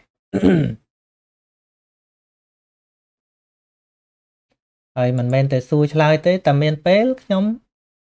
និយាយទៀតតែខ្ញុំយល់ថាធោកន្លែងណាល្អខ្ញុំយកមកចែកទៀតឲ្យតតនេពីកិច្ចការងារផ្សេង មានពេលខ្ញុំឡាយទៀតនេះជាទូរទស្សន៍របស់ខ្ញុំ ជា channel របស់ខ្ញុំ ជាទូរទស្សន៍របស់ខ្ញុំ ជាសិទ្ធិរបស់ខ្ញុំហ្នឹងហើយមិនអីទេកាលដែលខ្ញុំសឹកខ្ញុំ មុនខ្ញុំសឹកខ្ញុំគិតចេះផងខ្ញុំគិតថាអ្នកដែលស្ដាប់ខ្ញុំទាំងអស់ហ្នឹងប្រហែលជាអឺដូចក្នុង100ខ្ញុំគិតថាប្រហែលជាឈប់ស្ដាប់ខ្ញុំ90នាក់ឬក៏95នាក់តាមមើលខកចិត្តខ្ញុំគិតចឹងផងកាលហ្នឹងប៉ុន្តែខ្ញុំបានត្រៀមរួចហើយថានៅស្ដាប់តែត្រឹមតែ10នាក់ក៏ខ្ញុំនៅតែនិយាយដែរផេកមួយហ្នឹងខ្ញុំថាឡើយត្រឹមប៉ុណ្្នឹងធ្លាក់មកដល់10ទៅដល់មកខ្ញុំនិយាយ ហ្នឹងហើយរួមមិនមិនជាបត់អក្រិតទេ គឺជាការចែកធម្មទានខ្ញុំដឹងច្បាស់ថាជាគឺជាការចែកធម្មទានអញ្ចឹងណាអញ្ចឹងការងារមួយហ្នឹងឲ្យតែមានសុខភាពខ្ញុំធ្វើរហូតធ្វើរហូតថ្ងៃសុកណាឲ្យតែមានសុខភាពខ្ញុំធ្វើរហូត មានសុខភាព មានលុយបងអ៊ីនធឺណិតខ្ញុំធ្វើរហូត ហ្នឹងហើយវាលែងតែអូច្បាប់អូស្ត្រាលីហ្នឹងគេដាក់មកហ្មងថាអឺឈប់និយាយធោអីចឹងទៅតែនិយាយទៅគេផាកនិយាយទៅគេផាកអានឹងបងប្អូនឲ្យនិយាយក៏ខ្ញុំឈប់និយាយដែរព្រោះតែនិយាយទៅគេផាកខ្ញុំតែនិយាយទៅផាកខ្ញុំអស់លុយខ្ញុំអានឹងខ្ញុំឈប់និយាយហ្នឹងហើយឈប់និយាយមានតែប៉ុណ្្នឹងទីមួយខ្ញុំអស់សុខភាពអត់មានលុយបងអ៊ីនធឺណិតហើយខ្ញុំអត់មានពេលវេលារបស់ខ្ញុំឬក៏និយាយទៅ បលិសមកផាកអានឹងខ្ញុំឈប់និយាយទោះបងប្អូនចង់ឲ្យនិយាយក៏ខ្ញុំឈប់និយាយដែរតែនិយាយទៅគេផាកអស់លុយខ្ញុំអស់ credit ខ្ញុំឈប់និយាយឥឡូវអត់មានណាមកផាកផងអ៊ីនធឺណិតអាចនៅប្រឹងបងបានតាមទូរស័ព្ទ Live ក៏នៅមានអ្នកឧបត្ថម្ភបងឲ្យនិយាយទៀតអញ្ចឹងដល់ម៉ោងមិននិយាយមិនបានត្រូវតែនិយាយហើយអញ្ចឹង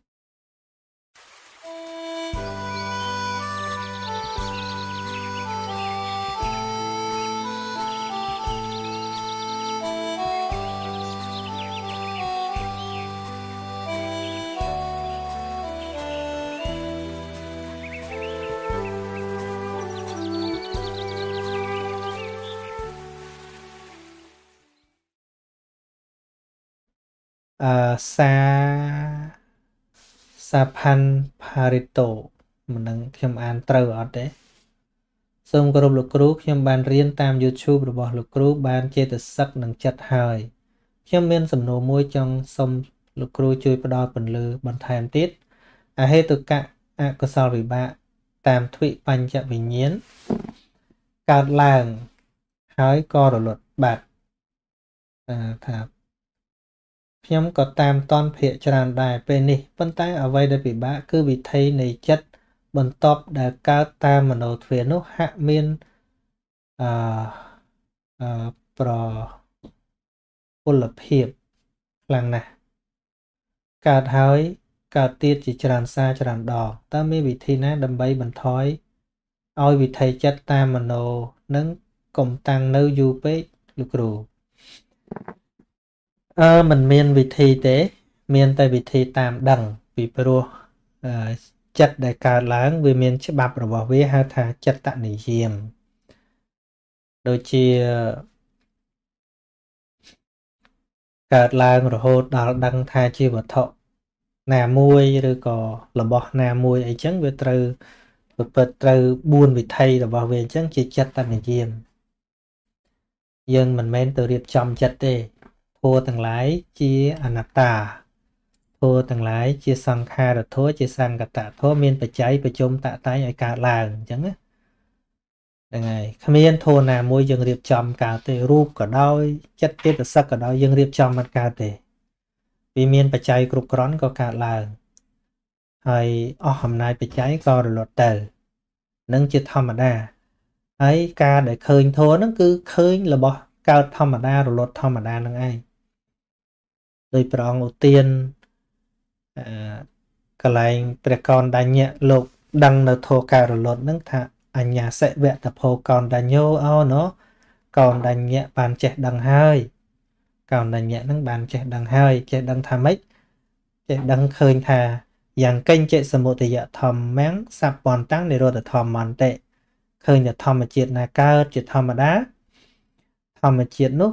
រលត់ទៅវិញជាធម្មតាអញ្ចឹង សំបីព្រះអរហន្តហ្នឹងក៏មិនមែនទៅរៀបចំដែរចិត្តចេតសិកនឹងលោកមិនមែនទៅរៀបចំទេ តែវាកើតឡើងតាមអំណាចបច្ច័យរបស់វាបច្ច័យនោះក៏អាស្រ័យការដែលវាសន្សំខ្លួនវារឿយរឿយរឿយរឿយបើចិត្តនឹងមានប្រកដីគិតល្អច្រើនគិតនៅក្នុងកុសលច្រើនទៅជួបរឿងជួបអីហ្នឹងគឺវាចិត្តតែបំលែងឲ្យកុសលហ្នឹងកើតតែបើសន្សំទុកច្រើនប្រកាន់ច្រើនទៅច្រើនជួបរឿងអីបន្តិចក៏ទៅដែរ ទីក៏ទៅវាសំច្រើនច្រើនច្រើនច្រើនទៅអញ្ចឹងទៅទៅជាសណ្ដានទៅជាអសិរជាស្រ័យរបស់ខ្លួនឯងអញ្ចឹងចឹងមកខ្ញុំចេះតែរំលឹកដាស់តឿនអញ្ចឹងអារឿងខឹងគេនោះគ្មានចំណេញខ្លួនឯងទេវាអត់មានទេរឿងខឹងគេរឿងជេរគេនោះតិចបាត់ថាបានទៅគេចុះយើងវាคล้ายទៅជាមនុស្សធ្លាប់ជេរអញ្ចឹងណាស្អីបន្តិចក៏កើតតែជេរស្អីបន្តិចក៏កើតតែជេរវាកើតតែបាបតែខ្លួនឯងអញ្ចឹងបើយើងចម្រើនដោយការនិយាយល្អនិយាយលើកទឹកចិត្តគេនិយាយគិត ដល់ទឹកចិត្តអ្នកស្ដាប់អីចឹងទៅឲ្យទៅគិតផ្លឹបគឺថាគិតដល់អ្នកស្ដាប់មិនចង់ធ្វើឲ្យអ្នកស្ដាប់នឹងមានការថ្នាំងថ្នាក់មិនចង់ឲ្យអ្នកស្ដាប់នឹងខាតប្រយោជន៍ទេហើយចិត្តនឹងវាចិត្តកើតបន្តបន្តបន្តបន្តបន្តទៀតចឹងទៅរហូតវាទៅជាអធិស្រ័យវាទៅជាសន្តានទៅរហូតដល់គេហៅថាមនុស្សសម្ដីល្អចឹងទៅវាមិនមែនផ្អែមលួយនោះទេវាទៅជាមនុស្សសម្ដីល្អវាទៅជាមនុស្សមានសម្ដីដូចផ្កាអីចឹងទៅដោយសារអីដោយសារសន្សំរឿយរឿយក្នុងការ ញ៉ាំងកុសលចិត្តឲ្យកើតតាមរយៈការនិយាយហ្នឹងអញ្ចឹងបានថាដោយឈ្មោះថាជាវ័នហ្នឹងគឺតែឈ្មោះថាចិត្តហ្នឹងគឺថាសន្សំនៅសន្តានហ្នឹងដោយអំណាចជាវណៈហ្នឹងវាកើតឡើងរឿយរឿយអញ្ចឹងមិនមែនការរៀបចំអីទេនិយាយដោយសន្មត់ថាយើងត្រូវមានការសម្រួមយើងត្រូវមានការរវាងប្រយ័ត្នហ្នឹងនិយាយសន្មត់ទេប៉ុន្តែធាតពិតគឺការកើតឡើងនៃសតិនៃបញ្ញានៃធម៌ដែលសន្សំឯង ហ្នឹងហើយហើយត្រូវឲ្យឃើញថាអកុសលវាកើតនឹងបុគ្គលណាវាស៊ីបុគ្គលហ្នឹងណាអយតោមលំសមុទ្ធាយតមេវខាតតិច្រេះវាកើតពីដែកណាវាស៊ីដែកហ្នឹងអកុសលវាកើតពីបុគ្គលណាវាស៊ីចិត្តបុគ្គលហ្នឹងយើងចិត្តតែច្រឡំថ្ងៃហ្នឹងជៀសកំហឹងដាក់គ្នាអីសពគ្រប់ហ្នឹងស្មានតែជេរទៅគេហ្នឹងពាក្យហ្នឹងជេរហ្នឹងបានទៅគេថាអត់ទេសិក្សាតាមប្រវត្តិមើល ដែលអ្នកដែលត្រូវគេជេរណាមួយធ្លាក់នរកព្រោះគេជេរវាមានតែអ្នកជេរគេទេធ្លាក់នរកនោះដែលអ្នកដែលត្រូវគេសម្លាប់ណាមួយធ្លាក់នរកមានតែមនុស្សសម្លាប់គេទេដែលធ្លាក់នរកនោះដែលអ្នកដែលត្រូវគេលួចទ្រព្យណាមួយធ្លាក់នរកនោះមានតែលួចទ្រព្យគេទេដែលធ្លាក់នរកនោះដែលអ្នកដែលត្រូវគេកុហកណាមួយធ្លាក់នរកវាមានតែអ្នកកុហកគេទេដែលធ្លាក់នរកនោះហើយច្បាស់ចឹងហ៎ពីព្រោះអីពីព្រោះអំពើដោយសម្លាប់ដោយដោយដោយកាយកម្មដោយវិច័យកម្មអីទាំងអស់ហ្នឹងវាសាងដោយអកុ អកុសលប៉ុន្តែចិត្តតែច្រឡំក្នុងសង្គមយើងយកអំពើអាក្រក់ទៅឈ្នះគេយកអំពើប្រមាថគេទៅឈ្នះគេហើយគិតទៅឈ្នះហ្នឹងបាបកោតពេញតែចិត្តដល់ថ្ងៃហ្នឹងកើតរហូតដល់ញៀនហ្នឹងណាបើមិនបានជេរគេមកចិត្តហ្នឹងណាអាហ្នឹងអាមិនមិនបានបានជេរគេមកចិត្តចឹងតែចិត្តហ្នឹងវាស្អិតជាមួយនឹងអកុសលហ្នឹងហើយហ្នឹងអកុសលវាទៅជាខ្លួនឯងទៅហើយវាទៅជាធាតហ្នឹងទៅហើយ ចឹងមួយថ្ងៃមួយថ្ងៃហ្នឹងបើមិនបានជេរគេតាមហ្នឹងទេវានៅវាមិនសុខណាបើមនុស្សសុខឯណាទៅដើរជេរគេជេរអញអត់ទេវាមានតែចែកសេចក្តីស្រស់ស្រាយវាចែកនៅភាពសบายរីករាយដល់គេហើយវិលមកវិញថាវិធីចិត្តនឹងមិនមានវិធីសាសនាមករៀបចំឲ្យវាតិចឲ្យវាច្រើនយ៉ាងម៉េចទេជាចិត្តនិយមនិយមព្រះអង្គសម្ដែងពីពីរជានិយមកម្មនិយមចិត្តនិយមធម្មនិយម អត់មាននរណាអ្នករៀបចំទេបាទ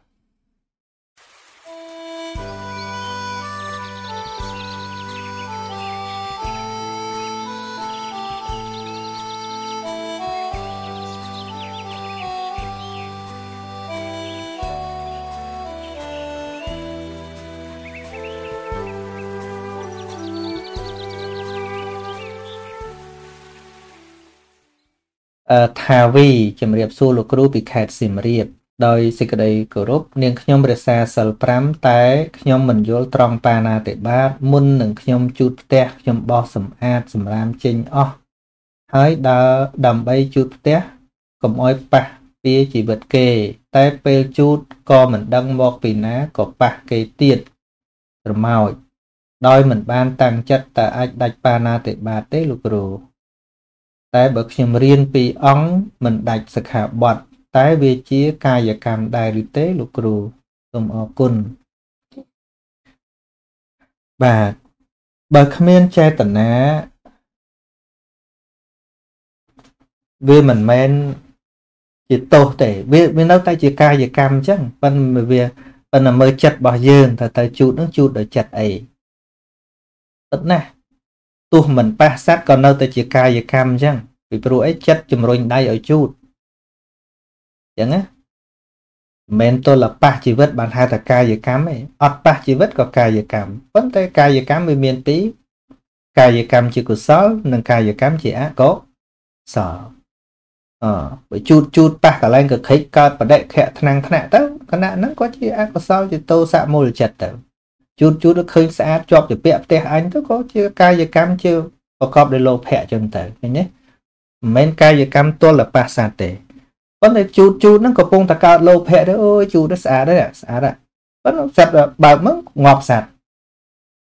វាមិនមែនជាកាយកម្មធ្វើឲ្យសត្វស្លាប់ទេមិនមែនទេពីព្រោះវាខុសសម្ដៅឃើញទេវាមិនមែនទៅជូតសត្វទេណាជូតឥតឃើញទេមិនមែនជូតសត្វទេជូតឥតទេ មានអ្នកបញ្យលខ្ញុំអឺចេះតែលឺលឺចឹងដែរថាទោះបីមិនមានចេតនាប៉ុន្តែបើសត្វស្លាប់ដោយសារការងាររបស់យើងហ្នឹងវាតែងតែមានពីវាតែងមានអីជាថាសំបីពិខុធ្វើឲ្យពិខុផងគ្នាស្លាប់ផងមិនទាំងត្រូវអាបត្តិស្អីផង ព្រោះវាអត់ចេតនាឧទាហរណ៍ដូចជាពិខុឡើងទៅប្រក់ដបូលកត់ដល់លោកចុះមកមានច្រកដែលចុះមកហ្នឹងវាសនុកចុះហើយក៏ប្រាប់ពិខុមួយអង្គទៀតថាលោកម្ចាស់ចុះមកតាមនេះវាស្រួលចុះហ្នឹងហើយដល់លោកចុះមកតាមផ្លូវដែលលោកប្រាប់ឲ្យចុះហ្នឹងក៏របូតដៃ ធ្លាក់សគត់លោកព្រួយបារម្ភដែរទៅកលព្រះអង្គសួរព្រះអង្គហើយអឺខ្ញុំគិតថាលោកស្លាប់ដោយសារតែខ្ញុំព្រះអង្គហើយព្រះអង្គសួរថាស្លាប់របៀបម៉េចខ្ញុំព្រះអង្គចុះមកមុនហើយក៏ប្រាប់ភិក្ខុហ្នឹងថាឲ្យចុះមកតាមផ្លូវដែលខ្ញុំព្រះអង្គចុះទៅវាសនុកចុះ ស្រាប់តែលោកចុះមកក៏របូតដៃធ្លាក់សគត់តែខ្ញុំប្រព្រឹត្តទៅជាទោសជាអាបត្តិទេព្រះអង្គអង្គសួរសួរណែឯងគិតល្មិចគណៈហ្នឹងគណៈប្រាប់ហ្នឹងគណៈប្រាប់ហ្នឹងខ្ញុំព្រះអង្គគ្រាន់តែគិតថាចុះមកតាមហ្នឹងវាស្រួលចុះព្រះអង្គអត់មានគិតថាម៉េចលើសពីប៉ុណ្ណឹងទេបានព្រះអង្គថាអាបត្តិមិនមានដល់បុគ្គលដែលគ្មានចេតនាទេអ្នកឯងមានត្រូវទោសអីទេឃើញទេ ច្បាស់ទេចេតនាហੰភិក្ខវេសីលੰវិទាមិមនាលវិខទាំងឡាយតថាគតហៅចេតនានឹងជាតួកម្មឃើញទេច្បាស់អញ្ចឹងយើងរៀនទៅវាអស់អាសេចក្តីសង្ស័យអញ្ចឹងបើក្រំតែសัตว์ស្លាប់ព្រោះអំពើរបស់យើងហើយវាជាទុច្ចរិតកម្មវាមានពីដែរនោះងាប់ហើយយើងបើកឡានរាល់ថ្ងៃយើងមិនដឹងថាមានសម្ោចបាននៅលើផ្លូវ យើងបើកទៅវត្តកាន់សិលរាល់ថ្ងៃនោះមិនដឹងសត្វណាសត្វណីទេណាមិនដឹងសមោចប្រមាណទេណានៅក្រោមកង់ឡានយើងវាមិនកម្មពីងាប់ហើយតែយើងដុតអស់ដាំបាយហ្នឹងមិនដឹងសត្វអីនៅក្នុងអាឈើហ្នឹងខ្លះយើងមិនដឹងអីតែយើងមានដុតសត្វណាដុតអស់ចេតនាសំខាន់ដូច ព្រះចក្របាលថេដែលលោកជាព្រះរហន្តហើយលោកដើរចង្ក្រមចុះឡើងចុះឡើងឯចន់សัตว์មេភ្លៀងអត់ដឹងលោកអត់ដឹងទៅងាប់សัตว์មេភ្លៀងមកកណោហើយលោកងឹតភ្នែកលោកពិការភ្នែកខកទាំងឡាយចោទថាលោកធ្វើបាណាតិបាតពេលដែលឃើញសัตว์ស្លាប់ប៉ុន្តែពេលទៅឃើញហ្នឹងលោកឈប់ចង្ក្រមហើយក៏លើកទោស មកទូលព្រះអង្គថាវិខុនេះអត់ប្រគិះបាបអង្គិះអីចន់សัตว์ស្លាប់អីបានព្រះអង្គសួរថាអ្នកឃើញវិខុចក្របាលនឹងសម្រាប់សัตว์ដោយផ្ទាល់ភ្នែកទេថាអត់ទេឃើញតែវាស្លាប់នៅកន្លែងលោកចង្ក្រមហ្នឹងបានព្រះអង្គថាអឺអ្នកមិនឃើញចក្របាលសម្រាប់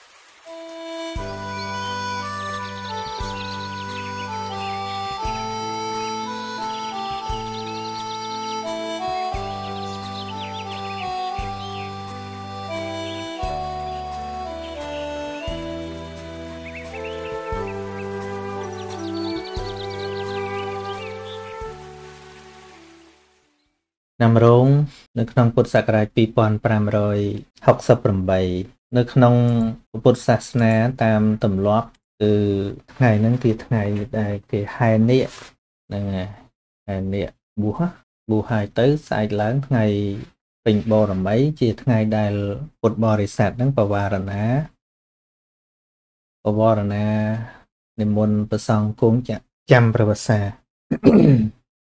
ហ្នឹងហើយដែល ចាស់ចាស់ពីដើមគាត់រៀបចំឲ្យមានថ្ងៃហ្នឹងហើយគាត់បង្កើតទម្លាប់មួយថាបួសហើយសឹកក្នុងភាសាមិនបានពិតពិតគឺ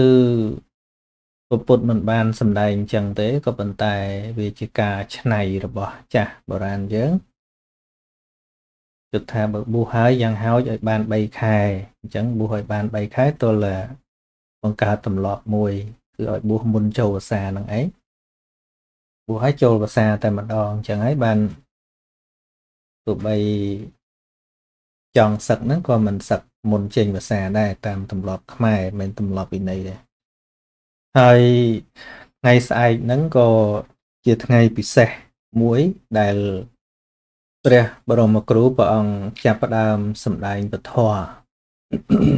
ក្រោយពី ត្រាស់ដឹងពីខែពេញមកពីព្រោះព្រះអង្គត្រាស់ដឹងនៅខែពិសាពេញបរមីហើយមកដល់ពេញបរមីខែអាសាឍគឺត្រូវថ្ងៃស្អែកនេះ ជាថ្ងៃដែលព្រះអង្គទ្រង់សម្ដែងនៅបឋមទេសនាហៅថាធម្មចក្រកបវត្តនសូត្របឋមទេសនាមានន័យថាទេសនាដំបូងបំផុត ហើយដំបូងផុតធัวក្លឹមបដ ாய் គឺធម្មចក្រធម្មចក្រហ្នឹងប្រែថាធัวវិលវិលមិនវិលក្បងទេគឺថាធัวជាបច្ច័យវិលដូចជាតណ្ហាវិលទៅរទុកអរិយមគ្គវិលទៅរនិព្វានណាហៅថាធម្មចក្រចក្រហ្នឹងប្រែថាកង់ឬក៏វិលបាទគឺសំដៅដល់អរិយសច្ចៈធัว4ហ្នឹងតែម្ដងហើយក៏ជាថ្ងៃដែលមនុស្សយើងបានស្ដាប់ធម៌ ពីព្រះអស់ព្រះអង្គជាគ្រាដំបូងដែរអញ្ចឹងបានជាតាមទីអារាមផ្សេងផ្សេងហ្នឹងច្រើនប្រពធ្វើអាសាលហបូជា គឺបូជាថ្ងៃពេញបរមីខែអាសាឍហ្នឹងគឺប្រពចំពោះការកើតឡើងនៃព្រះធម៌ដែលជាអបរិយត្តិធម៌ ហ្នឹងហើយជាបរិយត្តិធម៌កើតឡើងហើយលោកតរៈធម៌ក៏បានប្រកាសឡើងនៅពេលហ្នឹងហ្នឹងហើយអ្វីត្បិតថាធម្មៈគឺជាធម្មជាតិដែលមានជាដរាបក៏ប៉ុន្តែថ្ងៃនោះបើមិនមានអ្នកបើកបង្ហាញទេ ធម្មៈនោះក៏មិនប្រកាសឡើងដូច្នេះក៏យើងអាចនិយាយដោយសន្មតថាថ្ងៃ ពេញបរមីខែពិសាជាការប្រកាសឡើងនៃព្រះពុទ្ធពុទ្ធោឧបលោកេឧបណ្ណោពុទ្ធកើតឡើងក្នុងលោកហើយដល់ថ្ងៃពេញបរមីខែអាសាឍស្អែកនេះ ជាថ្ងៃកើតឡើងនៃព្រះធម៌ដែលហៅថាធម្មោលោកេឧបណ្ណោហើយក៏ជាថ្ងៃកើតឡើងនៃព្រះសង្ឃដែរពីព្រោះ ក្រោយពេលដែលព្រះអង្គសម្ដែងនៅធម្មចក្រកបវត្តនសូត្រហើយភ្លាមហ្នឹងក៏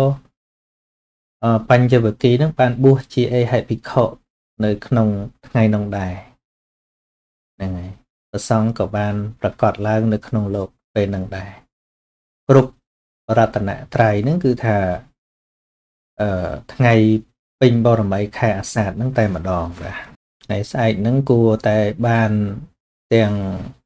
ប្រសង់ទាំងពុទ្ធបរិស័ទនឹងជំរះកាយវិចាចិត្តនឹងទទួលនឹងអំណរឬក៏ជំរះកាយចិត្តនឹង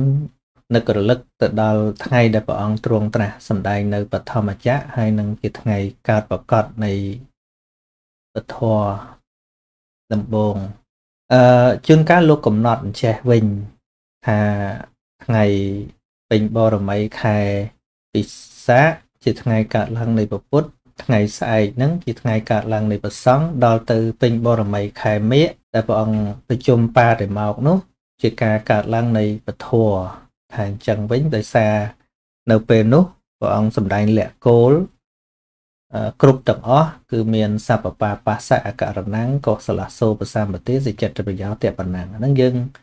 អ្នកកំណត់ទេព្រះអង្គមិនបានថាទេប៉ុន្តែ ធម៌ដែលកើតឡើងដំបូងមែនតេនចេញពីព្រះអស់ព្រះអង្គដែលជា Snow ធរដែលជាធម្មចក្រកបវត្តនៈសូត្រហ្នឹងគឺកើតនៅថ្ងៃស្អែកនេះឯង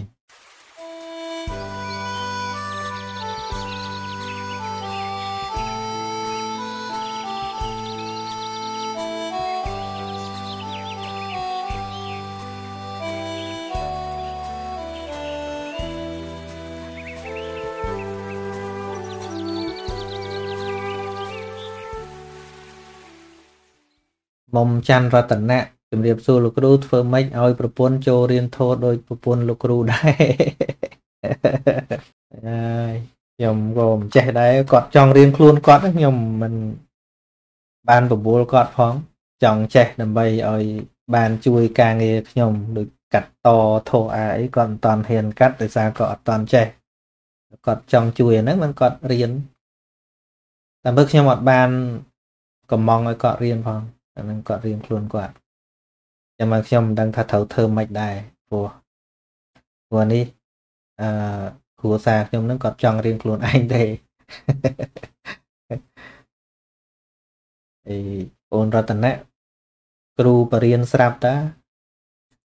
ប្រើបច្ចេកទេសផ្ទាល់ខ្លួនអាហ្នឹងមេរៀននេះចែកម្លែងបានទេអនិសាម៉ៅជំរាបសួរលោកគ្រូ នាងខ្ញុំមានសំណួរមួយរឿងគ្រប់យ៉ាងកើតសំតាមហេតុទាំងអស់ទាំងរឿងល្អនិងមិនល្អដោយពេលនេះសេដ្ឋកិច្ចធ្លាក់ចុះរោគស៊ីខាត និងជំពាក់បំណុលគេ វាសុទ្ធតែជាការពិត ដឹងដូច្នេះហើយចិត្តនៅមិនស្ងប់ទៀតមកពីយើងមិនព្រមទទួលស្គាល់ការពិតមែនទេ យើងនិយាយចឹងក៏បានប៉ុន្តែវាមិនមែនរឿងយើងទេ ចិត្តវានៅតែពិបាកព្រោះចិត្តហ្នឹងវាប្រកបដោយការប្រកាន់ចាហ្នឹងហើយហើយគិតឃើញថាស្អីដែលវាកើតឡើងសិតតែសមហេតុផលសិតតែជារឿងពិតហ្នឹងវាមិនមែនបញ្ញាកើតឡើងឃើញអញ្ចឹងទេត្រឹមតែជាការគិតឃើញថាអញ្ចឹងគិតនឹងនៅតែអញអ្នកគិតដដាលបើវានៅតែពិបាកហ្នឹង តែបើស្របជាមួយនឹងការគិតឃើញហេតុផលជាការកើតឡើងរបស់បញ្ញា ចិត្តនឹងវាអត់ពិបាកទេយើងសិក្សានៅក្នុងអឺសភាវៈរបស់បញ្ញាហ្នឹងគឺវាកើតជាមួយសោមនស្សហើយនឹងឧបេក្ខាបំណោះគ្មានបញ្ញាណាចេះពិបាកចិត្តទេគ្មានបញ្ញាណាគ្មានសតិណាចេះពិបាកចិត្តទេប៉ុន្តែយើងចេះថាគិតឃើញដែរតែវាចេះតែវាអញ្ចឹងណា អានឹងអានឹងគ្រាន់តែក្រុមចោលគិតថាចោលលួចចឹងមិនសមប៉ុន្តែក្រុមចោលណាអ្នកគិតខ្លួនឯងចោលដែរហើយគិតថាណាអំពើលួចចឹងដូចមិនសមសោះប៉ុន្តែខ្លួនឯងនៅលួចដែរនេះខ្ញុំគ្រាន់ឧទាហរណ៍ចឹងណាអាចិត្តឃើញថាអ្វីអ្វីកើតឡើងសុទ្ធតែតាមហេតុហ្នឹងគិតហ្នឹងវាមិនមែនជាតួបញ្ញាគិតទេវាមិនមែនជាតួសតិទេ សតិបញ្ញាដែលយើងនិយាយក្នុងសង្គមនឹងផ្សេងប៉ុន្តែតួសតិដែលជាតួសោបនៈធัวកាលណាវាកើតឡើងគឺស្អាតហ្មងសន្តរដ្ឋៈស្អាតចែសឆេកដ្ឋៈស្រួចស្រាវអនវេចិត្តៈមិនមានទោសឃើញទេហើយនឹងសុខវិបាកដ្ឋៈផលិតផលជាសុខទៀតសុខទាំងគណៈវាកើតហើយនឹងសុខទាំងវិបាកដែលត្រូវកើតឡើង ទី2ដើម្បីកាត់បន្ថយសេចក្តីទុក្ខតាមផ្លូវចិត្តដោយឈប់ប្រកាន់ខ្លួនគឺអញនឹងមួយចោអ្នកឃើញអ្នកឮអ្នកនឹកគិតតាមទ្វាទាំង6ដូចឮគេទាលុយប្រើពាក្យមិនសមរម្យដោយមិនស្ដាប់ហេតុផលអ្វីទាំងអស់នេះគ្រាន់តែជាចិត្តឮចិត្តដឹងរឿងប៉ុណ្ណោះមិនមែនយើងអ្នកឮអ្នកដឹងអីទេ តែហើយក៏ត្រឹមតែជាចិត្តគិតខ្វល់នឹងរឿងនឹងប៉ុណ្ណោះ មិនមែនយើងអ្នកគិតទេ អ្នកឮទេប៉ុន្តែបញ្ហាគឺយើងនៅតែដោះស្រាយដល់ដែលត្រូវទេលោកគ្រូហ្នឹងហើយទោះយើងចង់ខឹងក៏វាលឺមិនចង់ខឹងក៏វាលឺអាហ្នឹងធោហ្នឹងដែលប្រកែកអត់បានប៉ុន្តែការកំណត់ដឹងរបស់សតិដែលដឹងថាត្រឹមតែជាការលឺនោះ មិនមែនជាការទម្លាក់នៅភារៈចោលទេ រឿងអ្វីអ្វីហ្នឹងក៏ត្រូវតែដោះស្រាយដដែលហ្នឹងត្រូវហើយហ្នឹងហើយត្រូវតែនៅដោះស្រាយដដែលព្រោះអញ្ចេះព្រោះអាឡ័យទៅពិបាកចិត្តហ្នឹងយើងបន្ថែមពិបាកចិត្តឲ្យចិត្តមួយទៀតបន្ថែមភារៈឲ្យចិត្តមួយទៀតលើតែដេកមិនលក់ខ្វល់កាន់តែខ្លាំងទៅមិនខូចសុខភាពទៀតមិនចឹងហ្នឹងហើយប៉ុន្តែយើងកំណត់សញ្ញាច្បាស់ណាស់ថាលុយដែលចម្ពាក់គេហ្នឹងត្រូវតែរសងគេហើយហ្នឹងហើយ 3តើការរៀនតាមដានចិត្តគ្រប់ខណៈនោះវាជួយឲ្យឆាប់មានសតិដែរទេត្រូវហើយសតិវាកើតឡើងពីការសែបគប់ត្រូវកើតឡើងពីការនិយាយត្រូវកើតឡើងពីការរៀនត្រូវកើតឡើងពីការគិតត្រូវនឹងឯងហើយនឹងជួយកុំឲ្យចិត្តនេះរវើរវាយគិតអីច្រើនមែនទេ អាស្រ័យលើកម្លាំងរបស់សតិនោះឯងកាលណាសតិកាន់តែចម្រើនឡើង ភាពរវើរវាយក៏កាន់តែបាត់ទៅប៉ុន្តែបើសតិមិនចម្រើនទេ ការរវើរវាយវាតែងតែ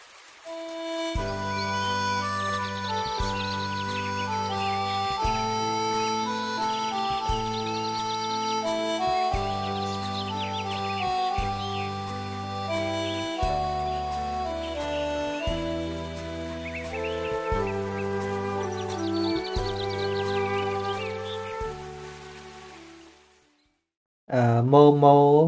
by Max គួរឲ្យជ្រះថ្លាក្រៃលែងព្រោះដល់សពថ្ងៃនេះនៅមានវិទ្យុសេកមាសបាត់ដំបងដែលនៅផ្សាយធម៌ទេសនារបស់ចាស់គ្រូសានសុជាបាទសាធុសាធុនៅនៅកាលខ្ញុំទៅអឺជួបញាតិញោមនៅខាងកំពង់សោមក៏ប្រាប់ខ្ញុំដែរថានៅតែផ្សាយចាក់1ម៉ោងដូចជា1ម៉ោង2ម៉ោងណាមួយថ្ងៃ ដែលគាត់នៅតែផ្សព្វផ្សាយព្រោះនៅតែជាធម៌ដែលគាត់ស្ដាប់គាត់នៅតែ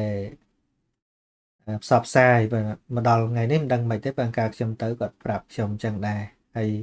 ខ្ញុំក៏ខានតាមដានថាវិទ្យុនៅខេត្តណាខ្លះបាននៅផ្សព្វផ្សាយចឹងណាហ្នឹងហើយនៅក៏តាមដំណើរមិននៅក៏ធម្មតាចឹងទៅបាទជាប្រយោជន៍សម្រាប់អ្នកស្ដាប់អ៊ុនចន្ទាអ៊ុំចន្ទា ពិតណាស់លោកគ្រូឥឡូវមិត្តភ័ក្ដិខ្ញុំគេលែងសូវរាប់រកខ្ញុំហើយព្រោះខ្ញុំមិនទៅជាមួយលោកសង្ឃនោះ មិត្តខ្ញុំអំបោះគេនោះដៃសងខាងធំធំហើយពួកនោះវាផ្លែផ្កាផ្លែផ្កា តែខ្ញុំលឺត្រឹមតែការលឺហើយគេនោះជាមិត្តស្និទ្ធស្និទ្ធតែព្រួតគ្នាជេរខ្ញុំព្រោះខ្ញុំស្ដាប់ព្រះធម៌លោកគ្រូសានសុជា យល់ច្បាស់ហើយខ្ញុំមិនរង្គើបង្កើតចំនួនខ្ញុំសុំទោសគេព្រោះជឿលោកសង្ឃនោះហើយ គេយកអំបោះយករូបថតខ្ញុំលែងនិយាយបញ្យលទៀតខ្ញុំឲ្យគេទៅខ្ញុំឲ្យគេហៅគ្នាគ្នា បាបដោយសារមកជេរខ្ញុំខ្ញុំសុំទោសគេបាទសាធុនឹងហើយតាមដំណើរចឹងទៅតាមឧបនិស្ស័យបាទ អឺរបស់វ័យវ័យដែលកើតឡើងក្នុងលោកនេះគឺជាអនត្តាអញ្ចឹងណាបង្កប់បញ្ជាមិនបានទេ ហើយដូចខ្ញុំធ្លាប់និយាយចឹងថាគ្មាននរណាម្នាក់សូម្បីតែម្នាក់ក៏គ្មាននរណាម្នាក់ចង់បានរបស់คล้ายคล้ายដែរប្រសិនបើដឹងច្បាស់ប្រសិនបើដឹងច្បាស់ប៉ុន្តែអ្វីអ្វីព្រោះហេតុតែ ដឹងច្រឡំដឹងដែរប៉ុន្តែដឹងច្រឡំណាហ្នឹងហើយ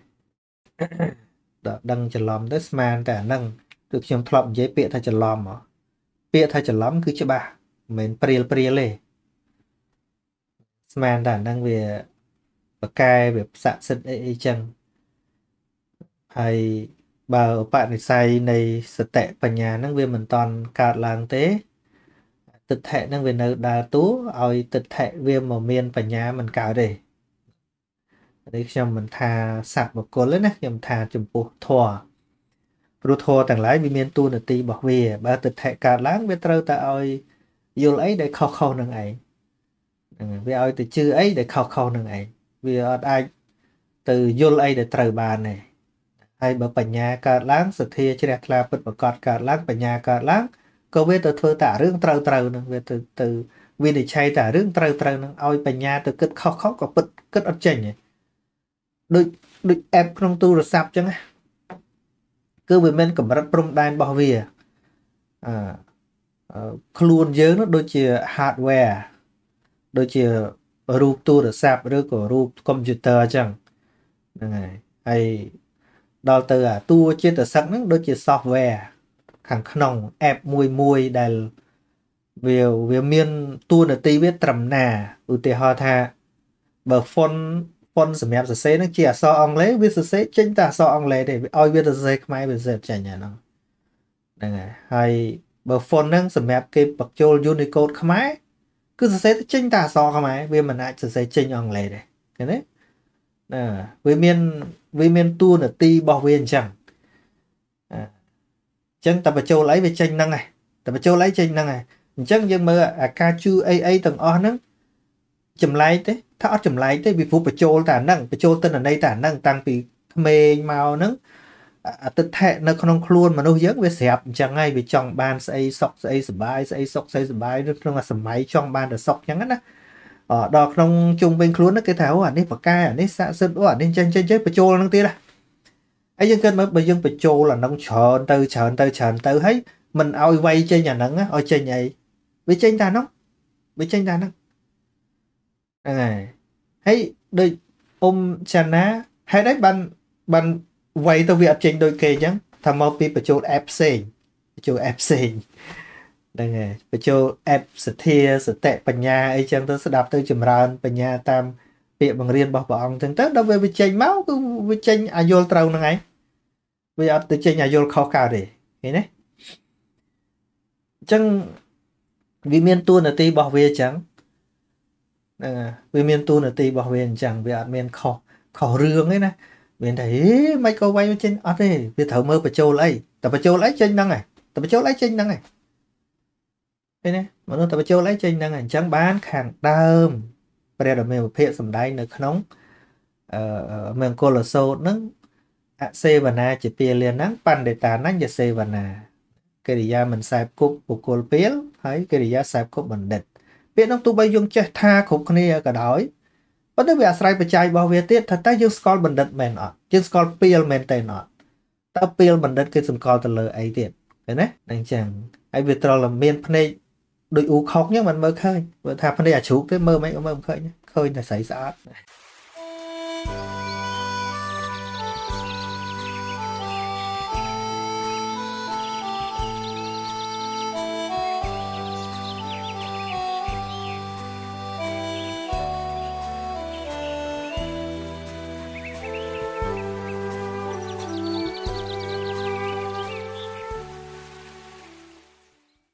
ហើយបន្តទៅទៀតមេងហួង សូមជម្រាបសួរលោកគ្រូ សូមសួរលោកគ្រូមួយសំណួរមានកូនពីរនាក់ស្រឡាញ់ដឹងគុណម្ដាយឪពុកតាមពីរបែបកូនទី1ដឹងគុណម្ដាយឪពុកព្រោះតែម្ដាយឪពុកឲ្យសុខឬសុំសុខបានសុខឯកូនទី2ដឹងគុណព្រោះតែគិតថាម្ដាយឪពុក នោះចិញ្ចឹមកូនហត់នឿយណាស់តើកូនទាំងពីរនេះមួយណាត្រឹមត្រូវជាង បើយើងវាលំបាកទៅដឹងគណៈចិត្តរបស់ពួកគាត់ថាគាត់គិតយ៉ាងម៉េចពីព្រោះពាក្យថាដឹងគុណគឺដឹងហើយវាគ្មានលក្ខខណ្ឌអីទេប៉ុន្តែអឺយើងលើកជាឧទាហរណ៍អញ្ចឹងទៅអឺតែបំរើឪពុកម្ដាយនឹងព្រោះតែឪពុកម្ដាយនឹងធ្វើឲ្យខ្លួនឯងបានសុបាយចិត្តអីអីចឹងទៅ ហ្នឹងហើយ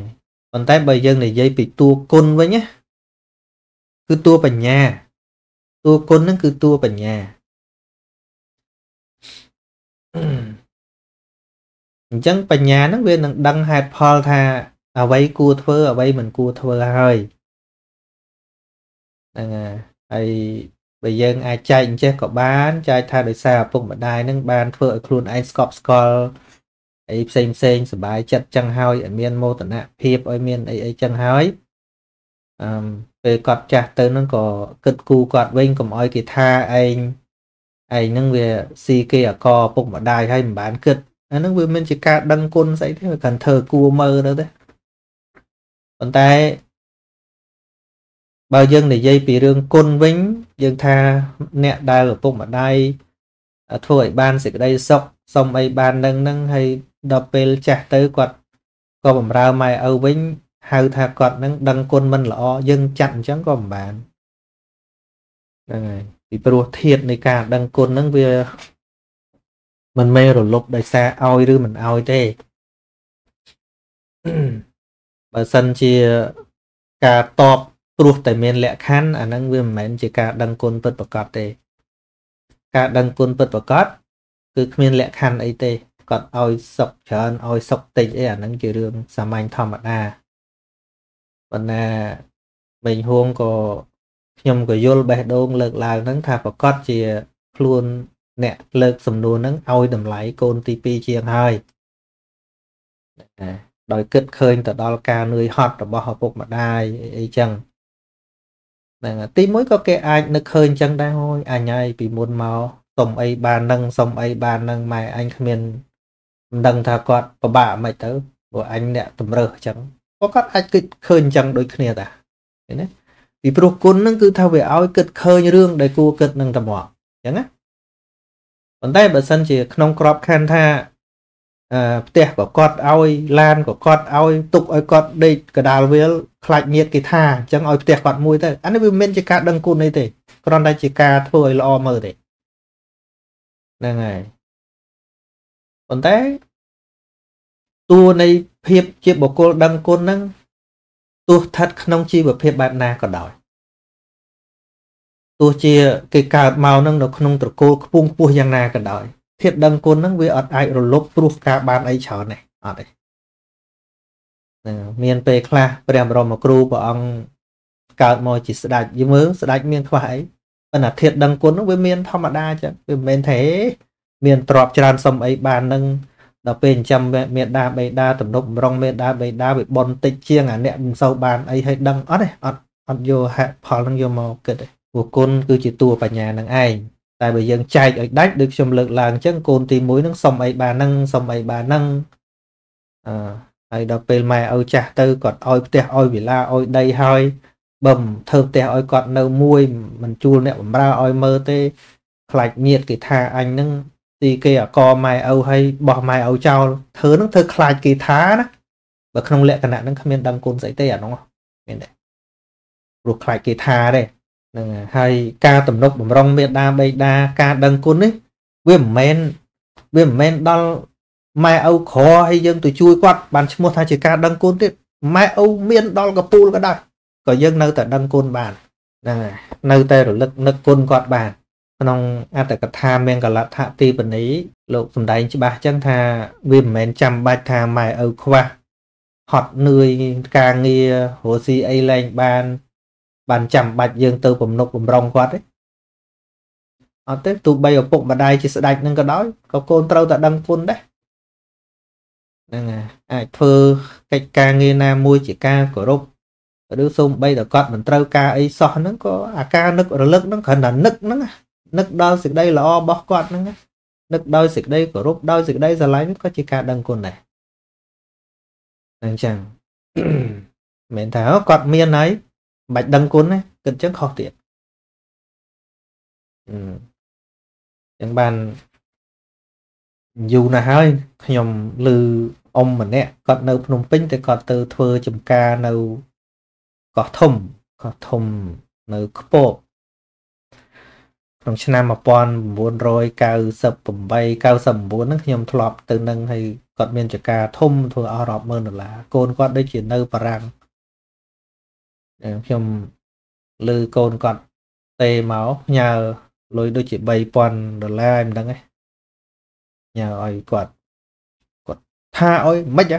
ឯងខ្វះកន្លែងទុកលុយហ៎អឺឯងខ្វះកន្លែងទុកលុយមែន